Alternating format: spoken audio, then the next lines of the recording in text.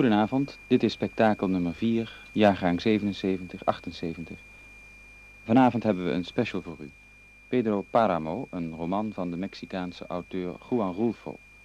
En die roman kunt u dan beluisteren in een hoorspelbewerking. Juan Rulfo, geboren in 1918 in Mexico, in de staat Jalisco, schreef vanaf 1940 zijn eerste korte verhalen en publiceerde ze in provincietijdschriftjes in Guadalajara. Hij verhuisde op een gegeven moment naar de hoofdstad Mexico, waar twee werken van hem zijn gepubliceerd. El Llano en Llamas in 1953, dat betekent de vlakte in de vlammen, en dat is een bundel korte verhalen. In 1955 verschijnt zijn roman Pedro Paramo. Rufo kondigt al sinds jaar en dag een tweede roman aan, die La Cordillera gaat heten, de bergketen, maar deze roman wil tot nog toe alsmaar niet verschijnen. In Pedro Paramo heeft Rulfo een moedige poging gewaagd de schrijftechniek te vernieuwen. Rulfo's romanwereld is in eerste instantie uiterst primitief en vreemd voor ons. De sfeer zit vol onderdrukking, de mensen lijken dikwijls verlamd door vrede, perverse hartstochten, door eenzaamheid en door dood. Achter de onschuldige Indiaanse gezichten, Rulfo schrijft steeds over Indianen, verschuilen zich huiveringwekkende tragedies van geweld, moord, incest en overspel. Ruffo's romanfiguren laten nooit hun hele gezicht zien. Ze zijn alleen van opzij te bekijken. Het zijn ondergrondelijke silhouetten. Daarnaast heeft Rolfo een uitgesproken talent om landschappen te beschrijven. Zeker het Mexicaanse landschap, hard en droog, waarin bijna niets beweegt, waar het leven verlamd en tot stilstand gekomen lijkt.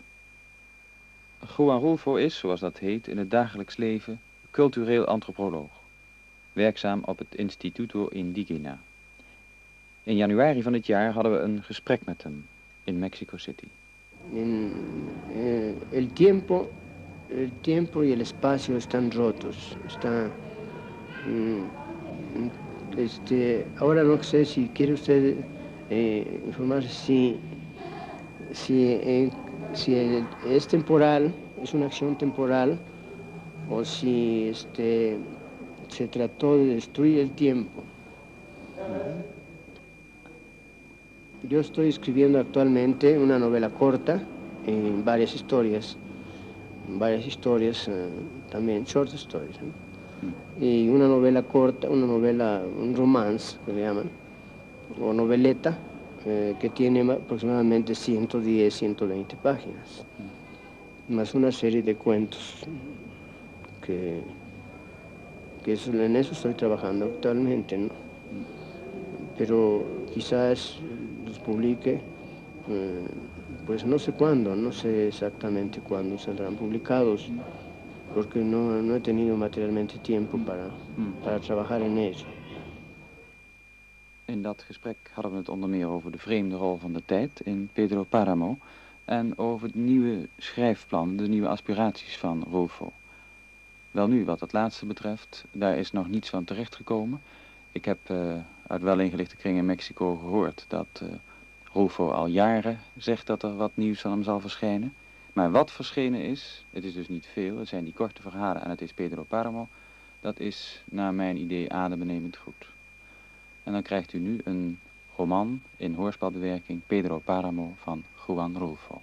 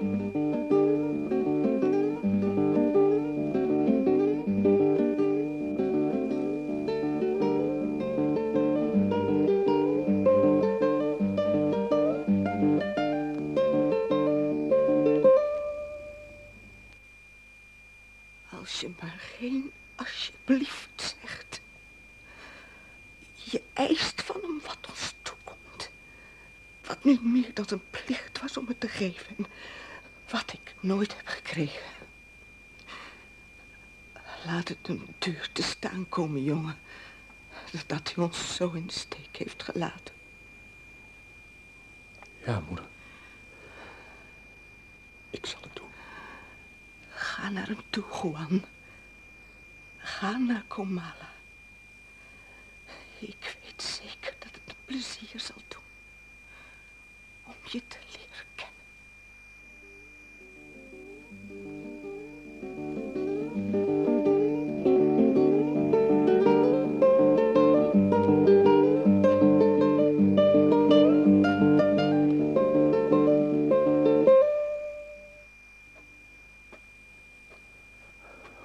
dat dorp, zegt u, daar beneden?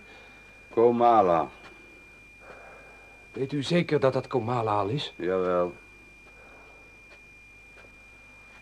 Wat ziet het er troosteloos uit. De tijden zijn slecht, meneer. Vanaf dat punt kan je Komala zien liggen. Een witte vlek op de aarde. Wat, eh, wat gaat u doen in Komala als ik vragen mag? Ik ga mijn vader opzoeken. Zo. Nou, dat is, eh, zal me ontvangst wezen. Dat zal hem plezier doen.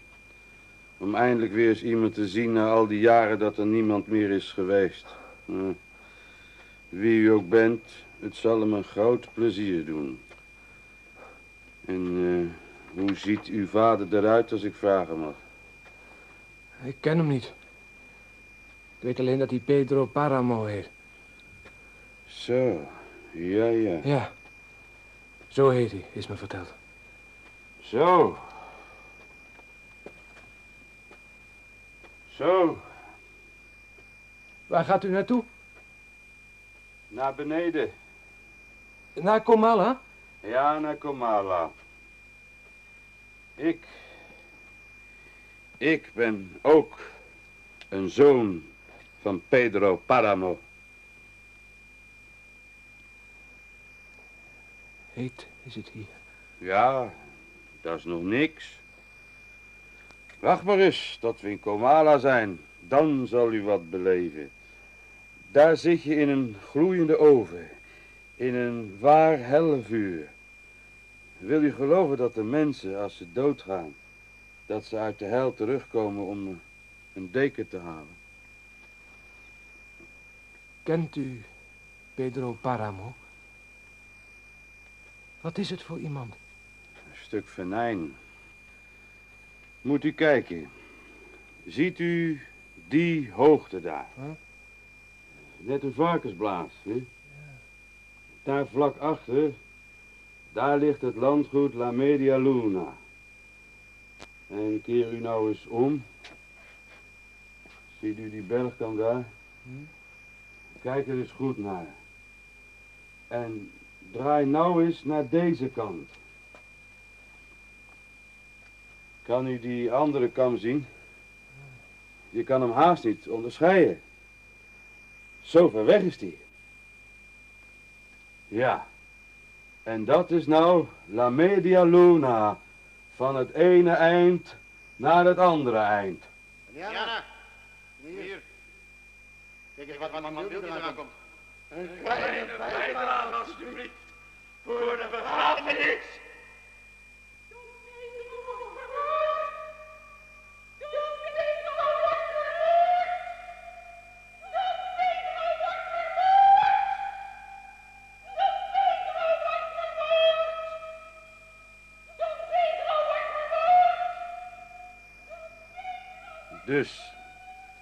Het land dat je hier vandaan ziet.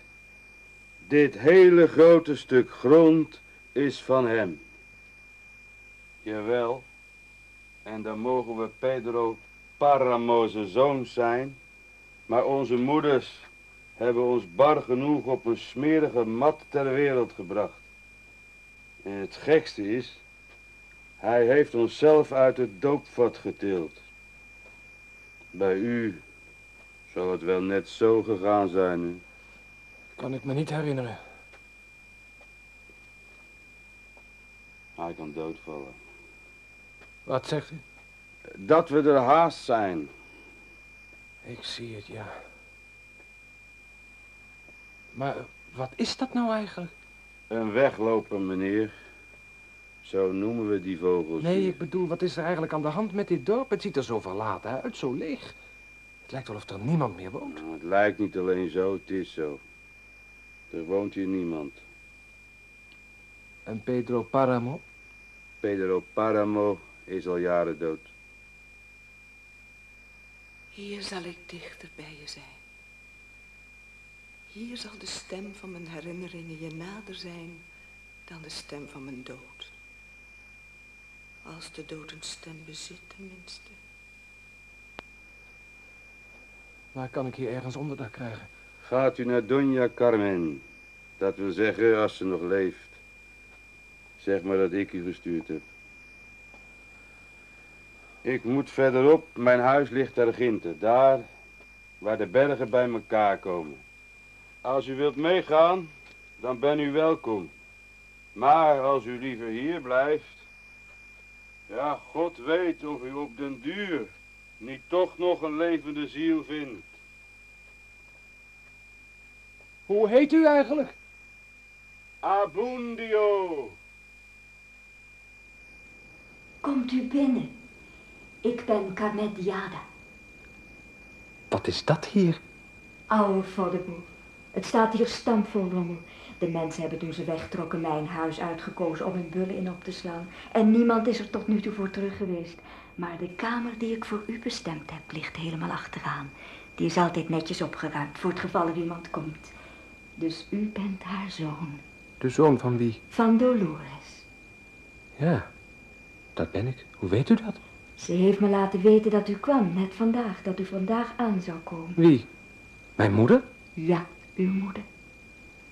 Hier is uw kamer. Maar hier staat niets. Waar moet ik op liggen? Voor een moe mens is slaap de beste matras. Morgen zorg ik dat u een bed krijgt. Je kan niet alles zo 1, 2, 3 in orde hebben, dat begrijpt u wel. Zoiets vraagt voorbereiding en uw moeder heeft me vandaag pas op de hoogte gebracht. Mijn moeder? Mijn moeder is dood. Oh, daarom klonk haar stem zo zacht. Net alsof het van heel ver was. Nou begrijp ik het.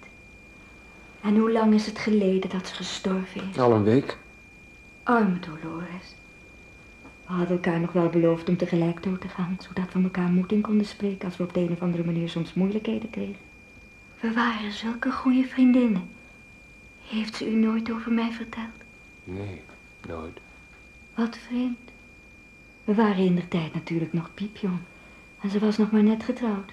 Maar we waren dol op elkaar. Je moeder was toch zo'n knap meisje? Zo, hoe zal ik het zeggen? Zo pril en lief. Je moest wel van haar houden. En het was gewoon een genot om haar vriendin te zijn.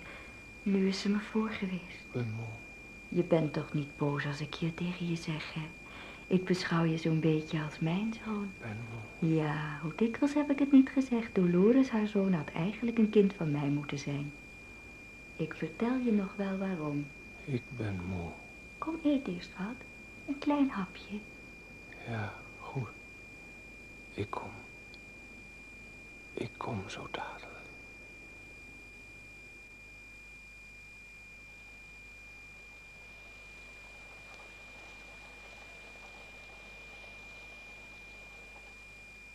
Wat doe je daar op het stilletje, Pedro?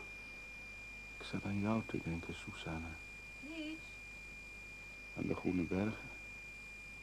En hoe we gingen vliegen de maanden dat het waait. In de diepte hoorden we het drukke rumoer van het dorp. Maar wij stonden er hoog boven, hoog op de berg. En de wind wou het vliegertouw uit onze handen rukken. En dan vleiden zich zachte handen om mijn handen. Kom eruit, jongen, heb ik je gezegd. De wind bracht ons aan het lachen. Maakte dat we elkaar aankeken. En het touw tussen onze vingers liet zich meetrekken door die wind, tot hij het met een zachte tik afknapte, Ja, ik kom, moeder. Kom. alsof de wiekslag van een vogel het doormidden sneed. De papieren vogel daarboven kwam kopje duikelend omlaag, met zijn staart van lappen achter zich aan, en verdween dan in het groen. Als jij daar nog lang blijft zitten, dan komt er een slang. En die bijt je. De lippen waren vochtig, Susanna. Of de touw ze had gekust. Ja, moeder. Wat heb je daar nou toch zo lang te zitten? Wat voel Ik je zat uit? aan jou te denken, zoals je daar stond. En me aankeek met je zeegroene ogen. Ik Denk na. Kan je dat niet ergens anders doen? Het is ongezond om zo lang op het stilletje te zitten. Trouwens, je kon best eens wat helpen. Ga je grootmoeder met de mais helpen? Nou, moeder, ga al.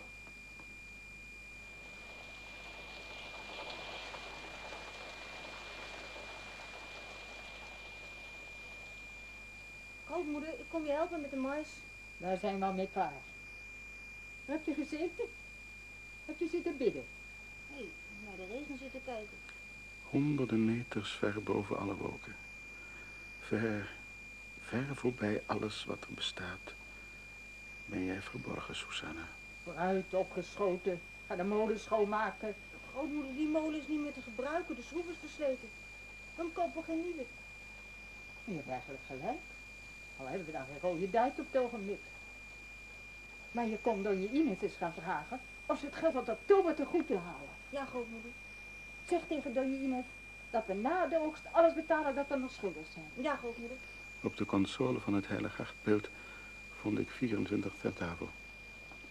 Ik liet de 4 centavo liggen en pakte 20 centavo stukken. Zeg, zeg, zeg, waar, waar, waar ga jij naartoe? Doe je Injes nieuwe molen kopen. De oude is kapot. Zeg dat ze je meteen een, een, een meter zwarte taft geeft. Wacht even. Hier, hier heb je een staaltje. Zeg dat ze het opschrijft. Ja, moeder. En, en koop op de terugweg een paar hoepetpoeiers voor me. Eh, in de bloempot in de gang ligt geld. Ik vond er een peso, legde de 20 centavo erin en pakte de peso. Zo.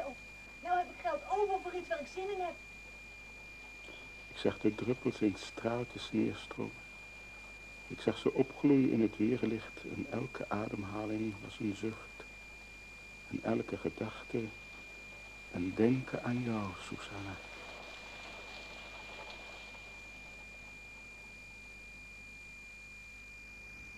Het scheelde een haar, of ik was je moeder geweest. Heeft ze je daar nooit van verteld? Nee. Over u hoorde ik pas van de ezeldrijver die me hier naartoe heeft gebracht. Een zekere Abundio. Die goede Abundio. Dus hij is me nog niet vergeten. Ja, hij zei dat ik maar naar u toe moest gaan.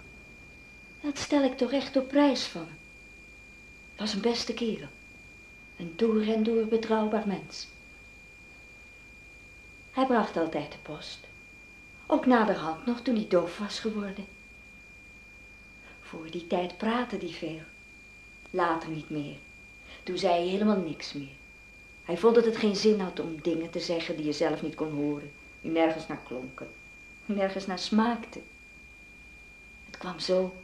Er was vlak naast zijn hoofd zo'n donderbus ontploft die wij hier gebruiken om waterslangen mee te verjagen. Daar was hij doof van geworden. Maar niet echt doofstom. Die ik bedoel kon goed horen. Dan was hij het niet. Trouwens, Abundio is dood. Dood? Vast en zeker dat hij al gestorven is. Dus je ziet, dan kan hij het niet geweest zijn. Nee. Dat lijkt me ook niet. Maar goed, om op je moeder terug te komen. Ik wou je net vertellen. Die man dus, over wie ik het net wou hebben, die was paardentemmer op La Media Luna.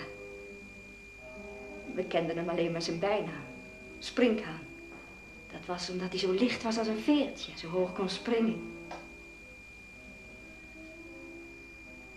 Mijn oude vriend Pedro die zei altijd, de veulenstemmen, daar is hij geweldig in. Terwijl hij in werkelijkheid iets heel anders was. Hij was een droomzinger. Dat was zijn eigenlijke vak. En je moeder liet zich net zo hard inspringen als een hoop andere mensen. Ik bijvoorbeeld ook. Hij kwam een keer langs toen ik ziek was. Ik zal je bekloppen, zei hij. Dan word je weer beter. En wat deed hij? Hij streelde en kneedde je van onder tot boven. Hij begon met je vingertoppen. En daarna vleef hij over je handen en dan kwamen je armen aan de beurt. En ineens voor je het wist was hij met je benen aan de gang. En ineens had de koortje te pakken. En onderwijl dat hij zo aan je zat te frunniken, had hij het over je toekomst die je te wachten stond. En dan raakte hij in trance en rolde met zijn ogen, bot en vloekte tegelijk en spuugde. Net als de zigeuners doen. Soms kleedde hij zich spiernaakt uit. Dat deed hij om onze wensen te vervullen, zei hij. En misschien had hij daar soms nog gelijk in ook. Hij kietelde je op zoveel plekjes dat eentje wel het goede moest zijn. Nou, en naar die springhaan was je moeder toegegaan.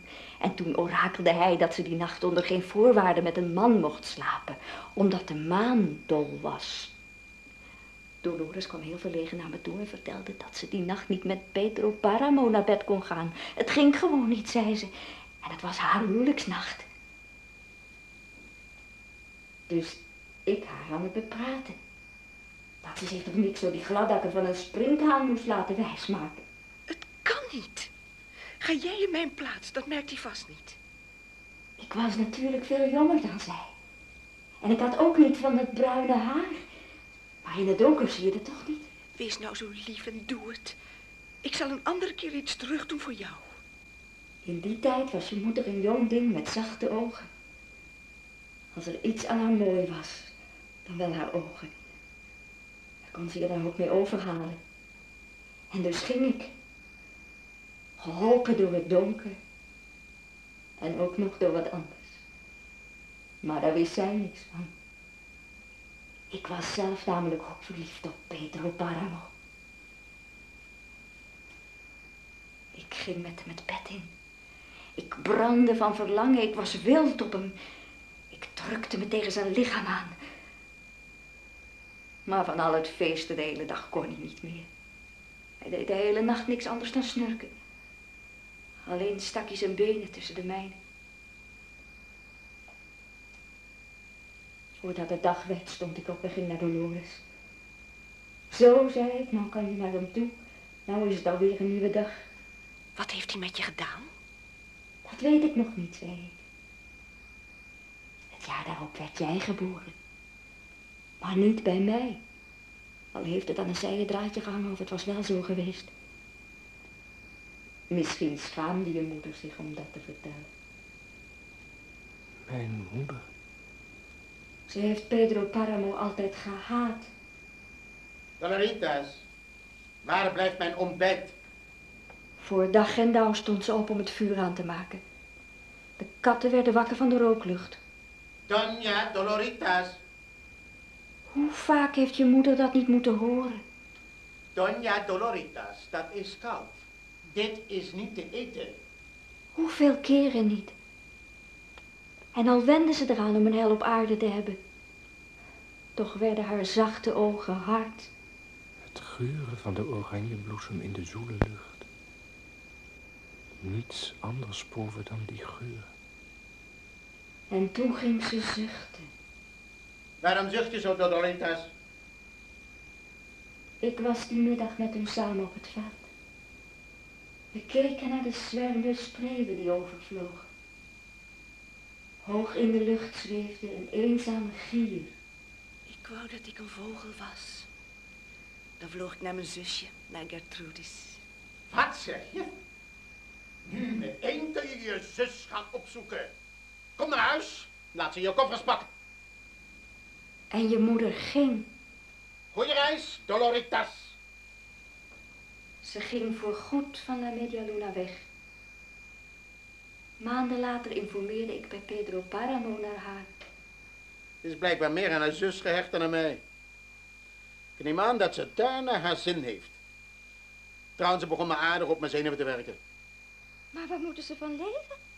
God zal ze bijstaan. Laat het een duur te staan komen, jongen.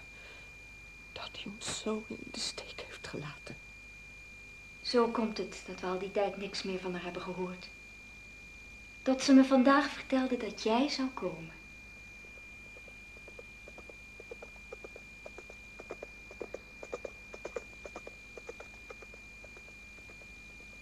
De dag dat je wegging, Susanna, wist ik dat ik je nooit meer terug zou zien. Ik dacht, ze komt nooit meer terug. Steeds weer dacht ik dat bij mezelf. Susanna komt nooit meer terug. Nooit meer. Wat doe je daar? Moet je niet aan de werk? Nee, grootmoeder. Rogelio wil dat ik op het kind pas, terwijl hij intussen de biljart zijn bier zit te drinken. En ik krijg er niet eens voor betaald. Je zit hier ook niet om geld te verdienen. Om te leren. Want voorlopig ben je nog maar in de leer. Morgen of overmorgen ben je misschien al de baas. Maar daarvoor moet je geduld hebben. In de eerste plaats bescheiden zijn. Dat is goed voor een ander, grootmoeder. Ik ben niet in de wieg gelegd om bescheiden te zijn. Ik ben niet in de wieg gelegd om bescheiden te zijn. Jij altijd met je grote woorden. Ik zie de toekomst somber voor je in, Pedro Paramo.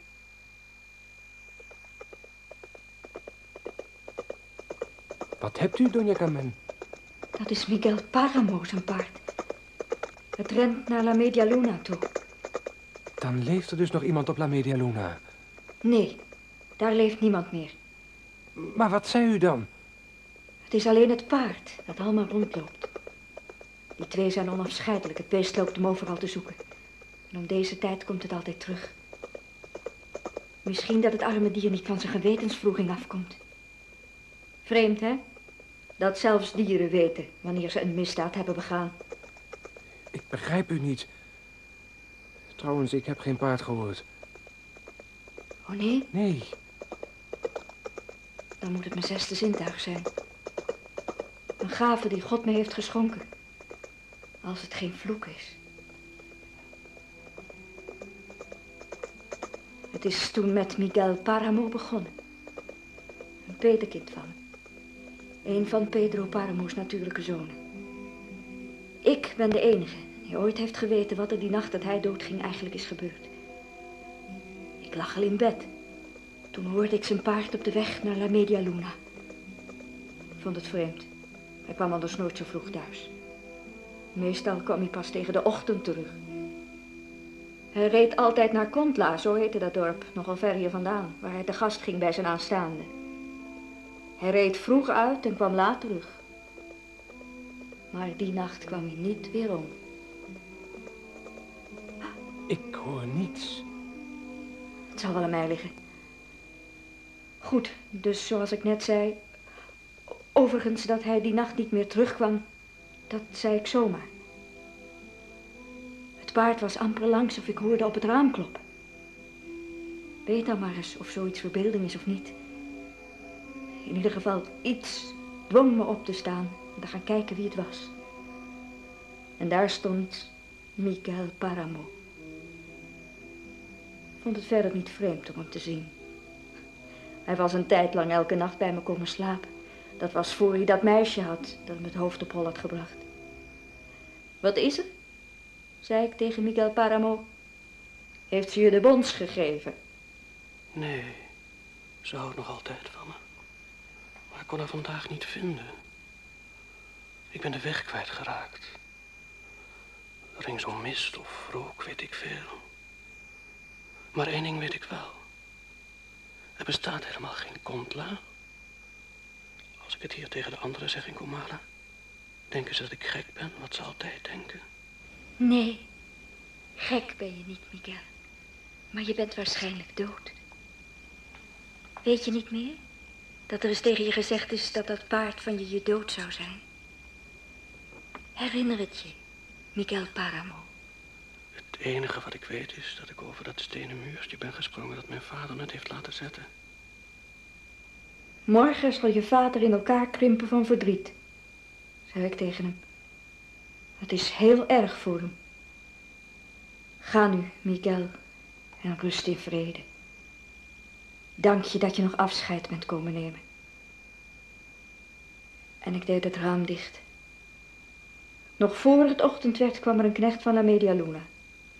Hij zei, Don Pedro heeft een verzoek aan u. De jonge heer Miguel is gestorven. En hij zou graag hebben dat u naar hem toe kwam. ik wist het al. Hebben ze je opgedragen om te huilen? Ja, Jan van de rentmeester, heeft gezegd dat ik moest huilen als ik het tegen u zei. Goed. Zeg aan dan Pedro dat ik kom. Hoe laat was het toen ze hem thuis brachten? Nog geen half uur geleden. Anders was het misschien nog te redden geweest. Hoewel de dokter heeft hem bevoeld. En die zei dat hij al een poosje koud was. We hebben het gemerkt dat zijn paard alleen terugkwam en zo onrustig deed. Niemand kon er wel slapen. U weet hoe ze aan elkaar verknocht waren. Hij is een paard.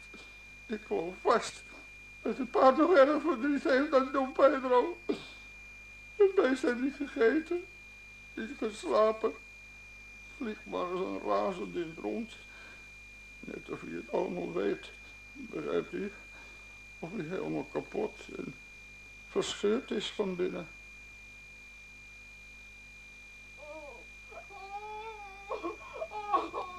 Heb je wel eens het weeklagen van een dode gehoord? Nee, Doña Carmen. Gelukkig maar voor je. Wacht, wakker. Word hem toch wakker. Waarom huil je zo, moeder? Je vader is gestorven.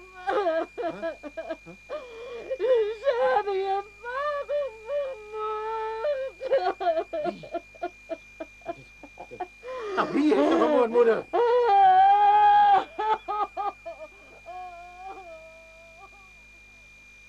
Er is wind. Er is zon. En er zijn wolken. Daarboven is een blauwe hemel. En daar ver boven klinkt wellicht gezang.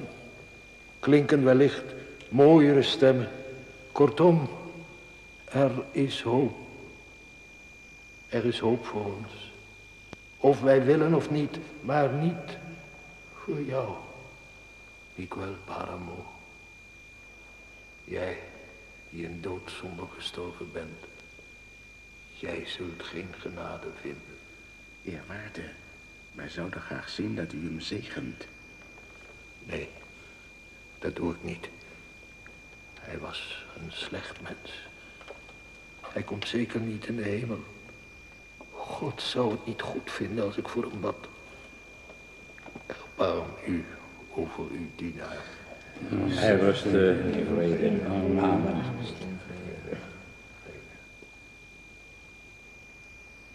De mensen zeggen dat zijn geest troont waard. Ja, en dat ze bij die en die vrouw op het raam hebben zien kloppen. En precies zoals hij er altijd uitzag. Met leren broek en al. Als je denkt dat die woesteling van een Don Pedro het goed zou vinden dat hij het nog met vrouwen aanlegt. Als hij het wist, nou, ik hoor al wat hij zou zeggen. Jij bent nu dood. Blijf dus maar rustig in je graf liggen en laat de rest aan ons over. Ik wed, als hij hem daar aantrof, dat hij hem voor de tweede keer naar het kerkhof bracht. Geloof dat maar. Jou laat niet met zich sollen. Ik weet dat u hem haat, eerwaarde. En met reden. De moord op uw broer die hij zou hebben begaan. Het geval met uw nichtje, Anita. Dat volgens u door hem verkracht is. De schaamteloosheid. De belediging aan uw adres.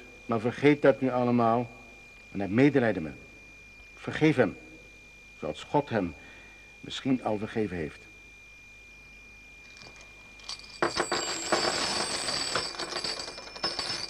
Hier is een gift voor uw kerk.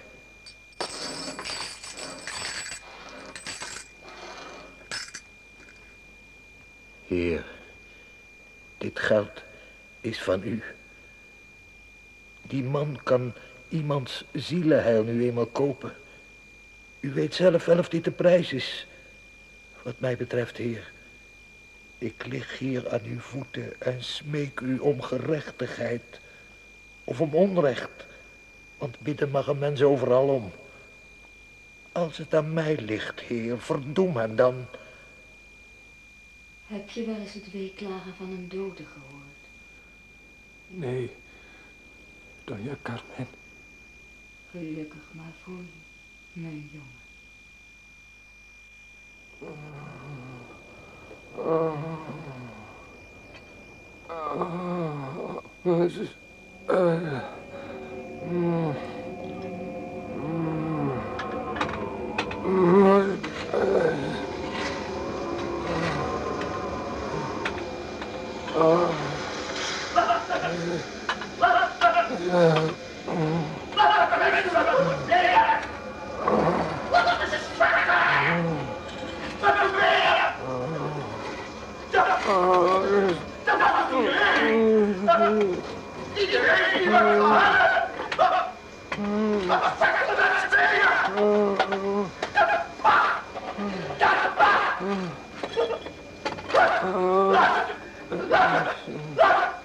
Oh.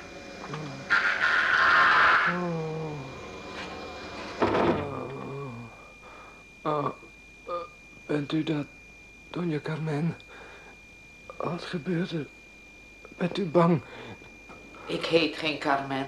Huh? Ik heet Damiana. Oh, Ik hoorde dat je hier was en ik wou je graag zien. Ik wou je uitnodigen om bij mij te komen logeren. Daar kun je ook liggen. Damiana Cisneros. Woonde u soms vroeger op La Media Luna? Daar woon ik nog. Daarom ben ik ook zo laat. Mijn moeder vertelde altijd over een Damiana die voor me zorgde toen ik geboren werd. Bent u dat? Ja, dat ben ik. Ik ken je al vanaf dat je op de wereld kwam. Ik ga met u mee. Hier krijg je geen rust. Hebt u dat gehoord, net dat geluid? Het leek wel of er iemand vermoord werd.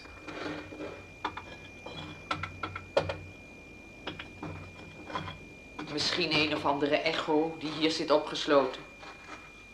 Jaren en jaren geleden is Toribio Aldrete in deze kamer opgehangen. En toen hebben ze de deur dichtgemetseld totdat zijn lijk was uitgedroogd, zodat hij geen rust zou vinden. Ik begrijp trouwens niet hoe je hier bent binnengekomen. Er bestaat helemaal geen sleutel meer van deze deur. Donja Carmen heeft hem opengemaakt. Ze zei dat het de enige kamer was die ze beschikbaar had. Carmen Diada. Ja, Fulgor Sedano, oud Arme 34 Carmen. jaar. Ze heeft dus nog steeds geen rust gevonden. Rentmeester van beroep. Bevoegd om bij volmacht of namens mezelf op te treden. Teken verzet aan en verklaar het volgende. Jij bent een moordkerel, Don Fulgor, dat moet ik je nageven. Jij kan er wat van. Ik eis strafvervolging van Toribio Aldrete wegens onrechtmatig vruchtgebruik. dacht al, er is iets mis. Nou weet ik tenminste wat ik op mijn kerfstok heb. Laat mij niet lachen. Onrechtmatig vruchtgebruik. Die Don Pedro van jou moest zeggen. Schaam om zo dom en onontwikkeld te zijn. Hoor eens, Carmen. Kun je me de achterste hoekkamer geven? Welke u maar wilt, dan Voeken. Als u wilt, neemt u ze allemaal. Blijven uw mensen hier overnachten? Nee, Ema. We komen hier verder niet om ons en gaan naar bed. Als je de sleutel maar hier laat. Nee, wat ik zeg, Don Fulgor, jij bent een moordkerel. Maar die landjonker van je, daar veeg ik me...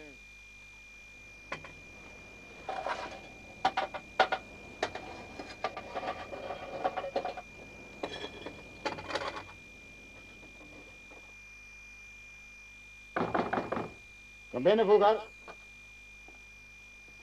Ga zitten, Fulgor. Hier kunnen we rustig praten. Waarom ga je niet zitten? Ik geef de voorkeur aan staan, Pedro. Zoals je wilt, maar Don, Pedro, graag als ik het zeggen mag. Hoe staat het er hiervoor? Slecht. We hebben niets meer. Het laatste vee is verkocht. Bij wie hebben we schuld? Hoeveel interesseert me niet, maar bij wie? De kwestie is, we hebben niets meer om mee te betalen. Aha. En hoe komt dat? Omdat uw familie alles heeft opgemaakt. Ze vroegen altijd weer om geld, altijd maar weer. En er werd nooit iets terugbetaald. Hoe dan ook, ik weet iemand die belangstelling heeft voor uw land. Iemand die goed betaalt. We zouden dan de vorderbare wissels kunnen afdoen en nog wat land zien over te houden. Dan zei ik niet veel meer. Die iemand ben jij zeker? Hoe kunt u zoiets denken? Ik denk wat ik denk. Morgen gaan we de zaken aanpakken. We beginnen met de Preciados. Die zijn het meeste schuldig, zeg je? Ja, we hebben er het minst van afgelost. Een van ze, Gertrudis, is schijnt het naar de stad verhuisd. Zodat Lola nu, ik bedoel Donja Dolores, overal overgaat. Aan haar moeten we betalen. Morgen vraag je om Lola's hand. Maar Don Pedro, hoe kunt u denken dat ze mij, oude man, neemt? Voor mij vraag je haar ten huwelijk. Per slot is ze zowaar best aantrekkelijk ook. Je zegt maar dat ik stapel verliefd op haar ben of en, uh, op akkoord gaat. Zeg onderweg tegen de pastoor dat hij de trouwerij regelt. Hoeveel contant heb je? Helemaal geen, Don Pedro. Ja, goed. Beloof hem wat, zegt dat we betalen zodra we wat hebben. ik neem aan dat hij niet lastig zal zijn. Maak het meteen morgen in orde. En die kwestie met Aldrete? Wat is er dan met Aldrete? Ach, een grensgeschil. Hij heeft zijn land laten omheinen en nou eist hij van ons dat wij het stuk nu optrekken dat er nog ontbreekt om zijn land van dat van ons af te grenzen. Dat is wel laten zorgen. Hou je niet op met muren metselen. Tenminste niet daar. Denk er maar eens over na. Maar laat je er met geen woord tegen hem over uit. Regel allereerst affaire Lola. Wil je nu niet gaan zitten? Jawel, Don Pedro. Nu ga ik eens zitten. Het doet me waarachtig genoegen om met u te werken. Je zegt tegen Lola zus en zo en dat ik van haar hou, dat is belangrijk. Ik, uh, ik ben werkelijk verliefd op haar, vanwege haar ogen, snap je? Daar gaat er morgenochtend vroeg op af.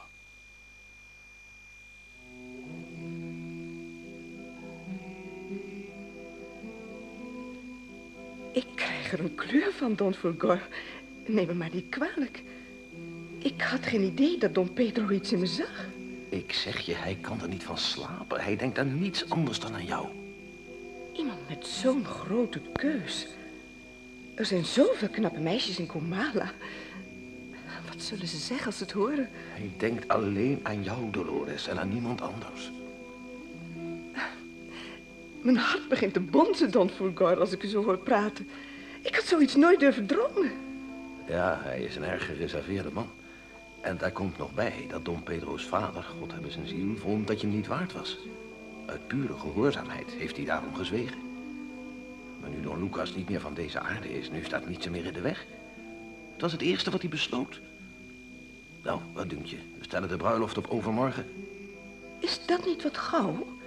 Ik moet mijn hele uitzet nog in orde laten maken. Ik, was er toch niet op voorbereid? Uh, ja, in een kleine week kan ik het wel voor elkaar krijgen. Vraag hem of hij nog even wil wachten. Als het aan hem lag, gebeurde het vandaag nog. En wat die uitzet betreft, die is er al. Wijle Don Pedro's moeder wil niets liever dan dat je haar goed gebruikt. Dat is zo de gewoonte in de familie. Uh, maar het gaat ook om een andere reden de eerste dagen niet. Uh, ik heb... Uh, wij vrouwen hebben... Oh, u begrijpt toch wat ik bedoel, hè? Ik vind het erg pijnlijk om het u te zeggen, Don Fulgor. Ik schaam me dood, maar mijn maand is net om. Wat pijnlijk is het nou? Ik zie niet wat dat ertoe doet.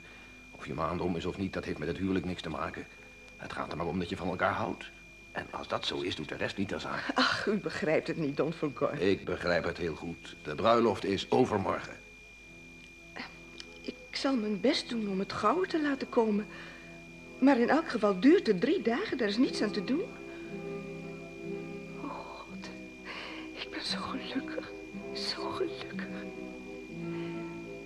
Dank u, lieve heer, dat u me Don Pedro geeft. Ook als hij later een hekel aan me krijgt.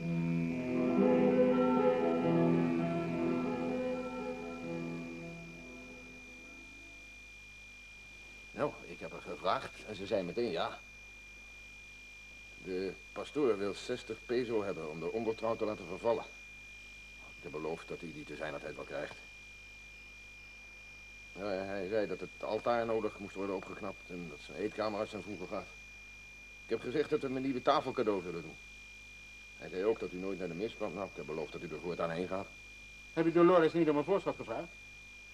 Nee, Don Pedro, dat durfde ik niet te doen. Nee, ze was zo gelukkig. Die ontgoocheling wou ik er niet aan doen. Jij bent een groot kind. Ik wou de plezier niet bederven. Ja, daarom ben je een groot kind. Goed, Don Pedro. Volgende week ga je naar Aldrete. Je zegt dat hij die muur een eind terug moet zetten. Hij heeft zich een strook van La Media Luna toegeëigend. Hij heeft nauwkeurig gemeten, daar ben ik zeker van. Jij zegt dat hij zich vergist heeft. Dat hij een of andere rekenvat heeft gemaakt. Als het nodig mocht zijn, laat je die muur afbreken. En de wet? Wat voor wet, Fugor? Van nu af aan maken wij de wet. Heb je onder je mensen op La Media Luna poten gewend? Oh ja, daar zit wel deze of gene tussen. Nou, dan stuur je een afvaardiging naar Aldrete. Je laat het proces verbaal opmaken en je klaagt hem aan weer eens, uh, weer eens onrechtmatig vruchtgebruik of iets dergelijks. met wat er in je opkomt. En herinner hem aan het feit dat mijn vader dood is. En dat er met mij anders wordt omgesprongen.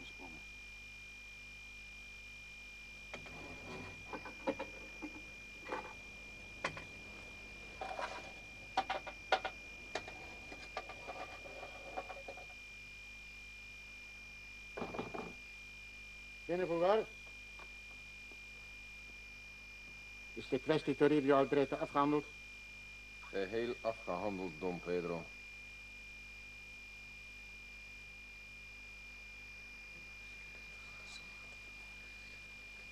Dit dorp zit vol echo's.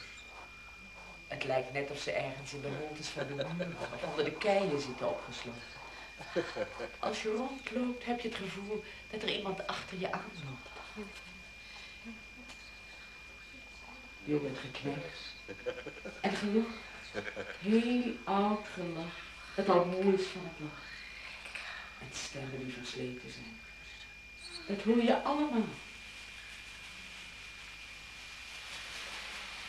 Maar er zal toch wel eens een dag komen, denk ik altijd, dat al die geluiden verstommen.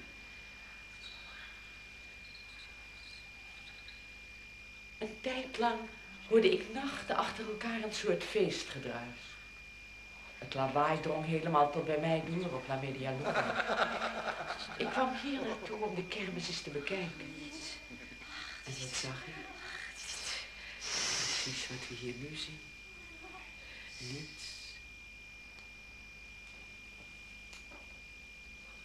Ja, dit dorp zit vol echo's. Ik griezel er al niet meer van. Ik hoor honden janken en denk, laat maar janken. Ik laat het erbij. Ik weet immers dat er hier niet één hond is. En op dagen dat het waait zie je de wind de blaren opjagen. Terwijl er hier helemaal geen bomen staan, zoals je ziet. Natuurlijk hebben er vroeger een paar gestaan. Waar zouden al die blaren anders vandaan komen? Maar het ergste, dat is als je de mensen hoort praten. En het klinkt of het uit een spleet komt. En dan hoor je ze ook nog zo duidelijk dat je dan hun stem kan herkennen. Dus schrik niet als je echo's hoort, Juan Preciado. Hebt u ook bericht van mijn moeder gekregen dat ik zou komen? Nee. Hoe gaat het trouwens met je moeder? Ze is overleden. Is ze overleden? En waaraan? Ik weet niet waaraan. Van verdriet misschien. Ze deed niets anders dan zuchten. Dat is erg. Iedere zucht is een stukje leven dat je wegblaast. Dus ze is dood. Ja. Eigenlijk had ik het moeten weten. Waarom denk je dat ik het had moeten weten? Ik weet al zoveel jaren nergens meer van. Maar om welke reden bent u dan hier naar mij toegekomen?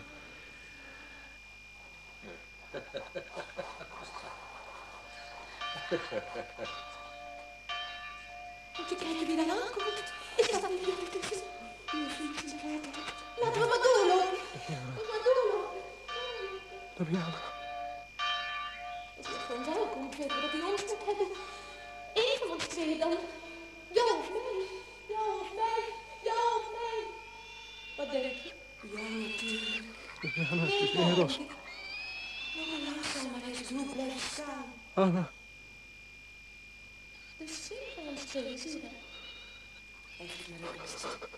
Nera.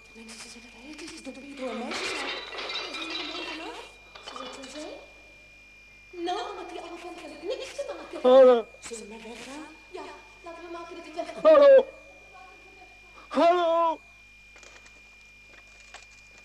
Wie heeft je dat gezegd? Dat de grond niet meer van mij is. Je hebt het aan Pedro Paramo verkocht, zeggen ze. Met dat heerschap heb ik niks te schatten. Maar dan ook niks, niks! Dat stuk grond is van mij. En het blijft van mij, van mij! Dat zeg jij? Dat zeg jij, maar de mensen zeggen dat het allemaal van hem is. Dat moeten ze me dan eens in mijn gezicht proberen te zeggen. Luister nou. We zijn onder elkaar. Hm? Ik kun je niet beledigen.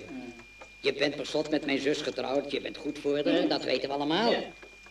Maar je wilt tegenover mij toch niet volhouden dat jij dat land niet verkocht hebt? Ik verzeker het je. Ik heb het aan niemand verkocht. Maar het is wel van Pedro Paramo. Dat heeft hij zo beslist. Ja. Is Don Fulgor niet bij je geweest? Nee.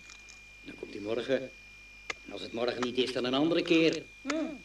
Nou, dan vermoordt hij me. Ik vermoord hem. Hè?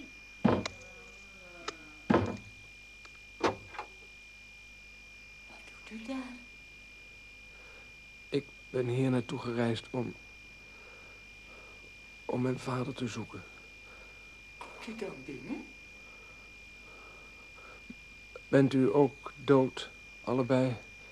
Hij is dronken. Dat is angst dat hij zo doet. U hoort iemand jammeren. Met zijn hoofd tegen de deur slaan. Nou, en daar stond u. Is er iets met u gebeurd? Er is zoveel met me gebeurd dat ik alleen maar wil slapen. Wij hebben al geslapen. Goed. Dan gaan we slapen.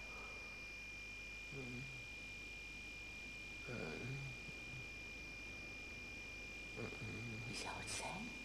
Geen idee. Hoe is er iemand hier verzeild geraakt? Geen idee. Zei hij niet iets over zijn vader? Ja, ja, zoiets zullen ze nog zeggen. Ja, oh, Zien hoe hij beweegt? Hoe hij ligt te draaien of hij door elkaar wordt geschud van binnen. Zo. Ik weet wat het is. Ik heb het ook gehad. Wat heb jij ook gehad? Dat. Ik weet niet waar je het over hebt. Ik wil het er eigenlijk niet meer over hebben. Als ik die man zo zie liggen draaien, moet ik er zo aan denken. Hoe ik me voelde toen jij het de eerste keer deed. En weet ik weer hoe pijn het deed. En hoe ik het berouwd heb. Wat heb je berouw? Ik herinner het me zo goed. Hoe ik er aan toe was nadat je het had gedaan. Want dan wil jij er niks van weten. Ik wist best dat het slecht was. En daar moet je nou opeens mee aankomen. Ga liever slapen. Laat mij ook slapen. Zoals die ligt te draaien, te kronkelen. Kijk toch eens. Als een bezetene schurk die over de grond. Spuug komt zijn mond uit. Maakt u geen zorgen over mij. Over mij hoeft u niet bezorgd te wezen. Ik ben eraan gewend. Hoe komt een mens hier vandaan? Waar naartoe? Geef niet waar naartoe. Stel je voor. En ons hier alleen laten zitten? Wij die zo zielsgraag een klein beetje van het leven zouden zien. Waar... Waar is uw man naartoe gegaan? Dat is mijn man niet. Dat is mijn broer. Al wil je het niet weten. Waar hij naartoe is? Wil het kalf vangen. Is verdwaald, loopt ergens op de berg rond. Zei hij tenminste. Sinds wanneer woont u hier? Wij zijn hier geboren. Dan moet u Dolores Preciado eigenlijk gekend hebben. Hij misschien. Ik weet zo weinig van de mensen. Ik ga nooit de deur uit. En kijk me maar eens goed in mijn gezicht. Wat is er dan mee? Zijn mijn zonden soms niet aan te zien? Ziet u die paarse vlekken niet waar ik van onder tot boven mee vol zit? Dat is maar de buitenkant. Van binnen ben ik een modderpoel. Nou, wie zou u hier zien? Hier is immers geen mens. Ik ben aan alle kanten door het dorp gelopen. En ik heb geen mens gezien. Dat lijkt me zo. Ze zijn er wel. Stonkelis komen er tevoorschijn. Als er één zijn ogen opslaat naar God, schaamt hij zich dood en kruipt hij weg. Als een worm. Schaamte helpt niet. Dat zei de bisschop tenminste toen hij hier een tijd geleden langskwam voor het vormsel. Ik ben paal voor hem gaan staan. Ik heb alles opgebiecht. Daar is geen absolutie voor. Ik schaam me. Daar heb ik niets mee. Trouwt u ons. Opzij. Ga uit elkaar. Dat is het enige wat je te doen staat. Maar hoe moeten we dan leven? Als mensen. En hij reed weg op zijn muildier. Met je strenge gezicht zonder op of om te kijken. Of het toonbeeld van eeuwige verdoemenis daar. Is nooit meer toe geweest. En daarom zit het hier vol zielen in het vage vuur. Daarom dwalen al die mensen hier rond, die zonder de absolutie zijn doodgegaan. En die kunnen ze ook op geen enkele manier krijgen. Dat komt wel. Dat is... Waar is het kalf? De kalf had vandaag geen zin om voor de dag te komen. Vannacht, dan krijg je het op de pakken. Wou je hem in de nacht alleen laten? Vannacht ga ik dat kalf halen. Ik hoor net dat u broer en zus bent. Zo, zo. Hebt u dat gehoord? Maar dat wist ik al lang, lang voordat u het hoorde. Hoor je maar liever niet mee, we houden er niet van dat er over ons gepraat wordt. Ik zei het alleen maar omdat ik het begrijp, nergens andersom. Wat begrijpt u? Ja, wat begrijp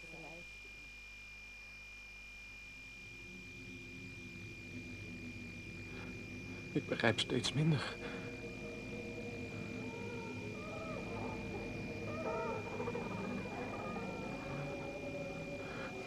Ik zou het liefst teruggaan naar waar ik vandaan kom.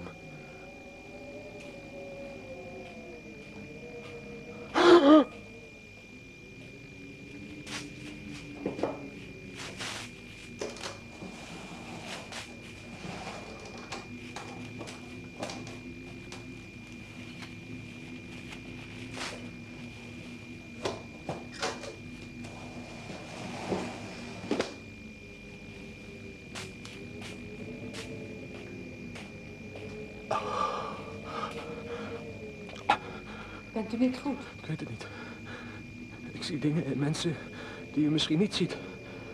Daarnet was er hier een vrouw. Die had u eigenlijk nog net moeten zien weggaan. We moeten hem in bed leggen. Kijk hem eens beven. Hij heeft koorts. Maak niet zo drukte. Zie je dat hij ophoudt met beven? Dat wil zeggen dat hij naar ons ligt te luisteren. Gaat u naar Donja Carmen? Dat wil zeggen, als ze nog leeft.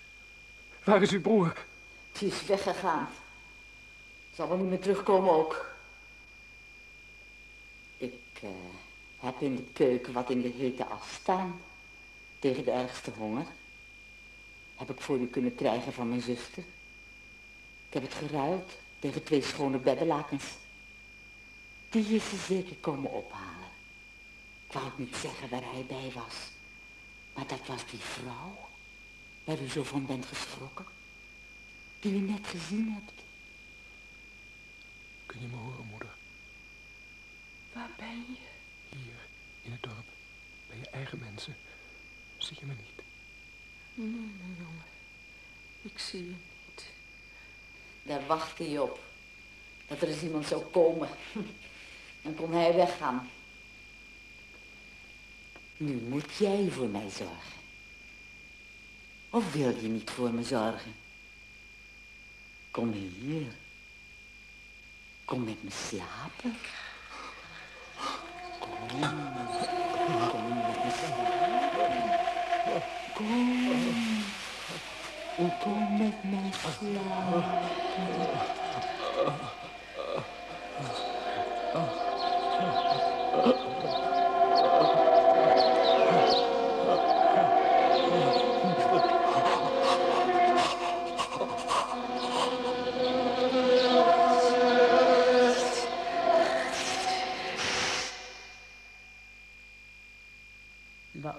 Wijsmaken dat je gestikt bent, Juan Preciado? Ik heb je op het plein gevonden. Met z'n tweeën hebben we je onder de arcade gesleept in de schaduw. Toen was je al helemaal stijf en zo verkrampt als de doden die je bestorven hebben van de angst. Je hebt gelijk, Dorothea. Dorothea zei je toch dat je heette, hè? Dat doet er niets toe. Mijn naam is wel Dorothea, maar dat doet er helemaal niets toe. Het is waar, Dorothea. Dat gefluister, dat was mijn dood. Daar waar ik verteerd werd door dromen. Daar zul je mijn thuis vinden. De plek die ik lief had. Het dorp waar alle dingen met de lucht van kleur veranderen. Waar het leven doorheen strijkt alsof het maar een ruis. Een fluister. Naar een ademtocht is. Ja, Dorothea, dat gefluister is mijn dood geweest. Maar de angst zat er al in, al lang. Het werd steeds erger. Ten slotte kon ik het niet meer uithouden. En dat ik toen in dat gefluister terecht kwam, dat gaf me de laatste stoot. Ik was naar het plein gegaan, je hebt gelijk. Ik was erheen gelokt door het geroezemoes. Ik dacht dat er daar werkelijk mensen waren. Toen was ik al niet meer helemaal bij zinnen. Ik hoorde het goed. Het waren stemmen van mensen, maar ze klonken niet duidelijk. Ze klonken zo vreemd gedempt. Net of ze me in het langsgaan iets toefluisterden. Of het in mijn oren zoemde. Vanaf dat ik dat huis uit was gegaan van die vrouw die me naar bed had gehaald. En ik haar in haar zweet had zien wegsmelten. Vanaf toen had ik het koud. En hoe verder ik doorliep, hoe kouder dat ik het kreeg. Ik wou teruggaan, want ik dacht eerst dat ik de warmte dan weer terug kon krijgen die ik daarachter had gelaten. Maar ik merkte al na een paar stappen dat de kou in mezelf zat, in mijn eigen bloed. En toen besefte ik dat het kwam doordat ik bevangen was van afgrijzen. Op dat moment hoorde ik dat rumoer op het plein en ik dacht dat de angst wel van me af zou vallen als ik maar tussen de mensen zat. Zo komt het dat jullie me dood hebben aangetroffen. Waarom ben je eigenlijk hier naartoe gekomen? Om Pedro Paramo op te zoeken. De man die mijn vader schijnt te zijn geweest. Een illusie heeft me hier naartoe gebracht. Een illusie? Daar moet je duur voor betalen. Ik heb er langer voor moeten leven dan een mens eigenlijk leeft. Daar heb ik mijn schuld mee afgeboet dat ik dat kind vond. Het was immers ook maar een illusie. Want ik heb nooit een kind gehad. Nu dat ik dood ben, heb ik de tijd genomen om over alles na te denken. En het is allemaal gekomen doordat ik een duivelse droom had. Waar ik in droomde dat ik een kind kreeg. Ik sjouwde er overal mee rond in mijn omslagdoek, waar ik maar naartoe ging. Want ik had wel het hart van een moeder, maar de schoot van een hoer gekregen. En ik vond het niet. Toen het dorp langzamerhand leegliep, ben ik gaan zitten wachten op de dood. Ze hebben me bij jou in het graf gelegd. Paste precies in het holletje tussen je armen, hier in het hoekje waar ik nou lig. Alleen bedenk ik net, moest eigenlijk andersom zijn. Dat ik mijn arm om jou heen hield. Hoor je, het regent buiten. Voel je de regen opspetten? Ik voel dat er iemand over ons heen loopt. Houd toch op met die angst. Dan hoef je voor niemand meer bang te zijn. Probeer liever aan iets prettigs te denken. Het zal een hele tijd duren dat we hier begraven liggen.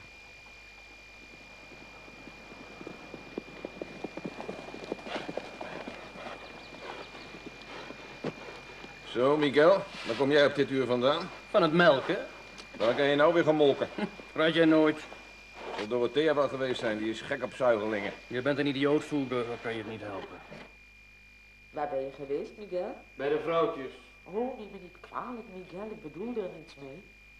Hoe wil jij hier hebben? Net zoals jij ze graag hebt. Miguel, ik spreek toch ook beleefd tegen jou? Oh, doe dan niet aan, trek het je niet aan. Vertel eens. Jij zeker Dorothea? Tuurlijk ken ik die. Ze loopt altijd met een bundeltje loppen in haar doek. Dat is haar kind, zegt ze. Dat wiegt ze dan heen en weer. Van nu af aan geef je die vrouw hetzelfde tevreden als wat ik krijg. Nou, nou kom op met je eieren.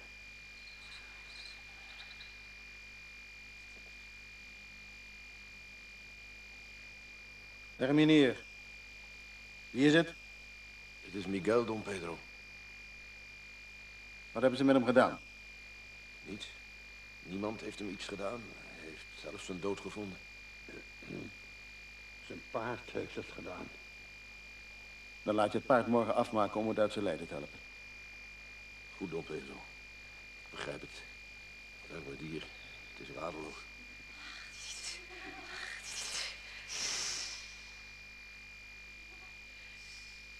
Hoe heb ik het nou?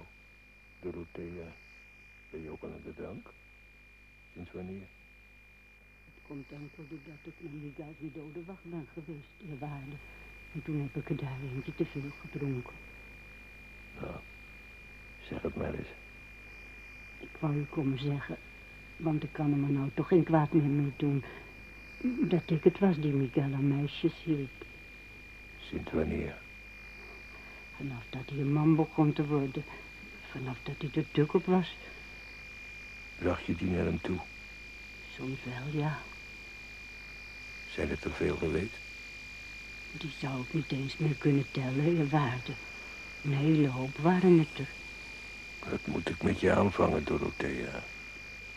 Enfin, in de hemel kan je nou niet meer komen. Dank u wel, je waarde. God zij met je.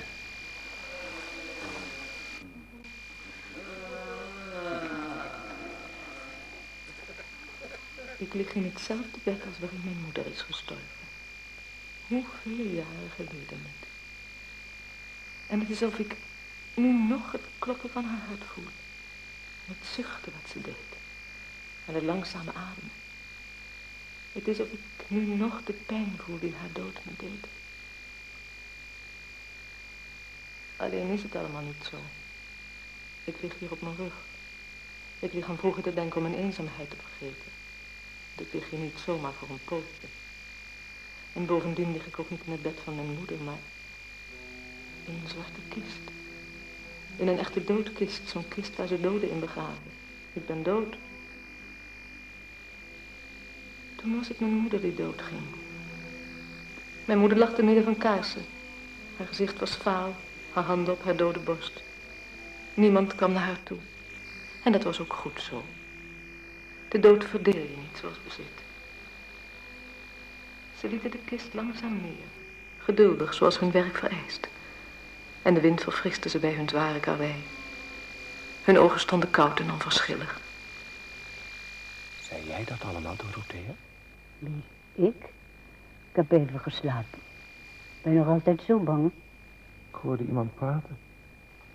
Het was een vrouwenstem, ik dacht dat jij het was. Vrouwenstem? Ik dacht dat ik dat was. Nee, er ligt er hier een die altijd in zichzelf praat. Zij zal het wel geweest zijn. In het grote grafje naast ons.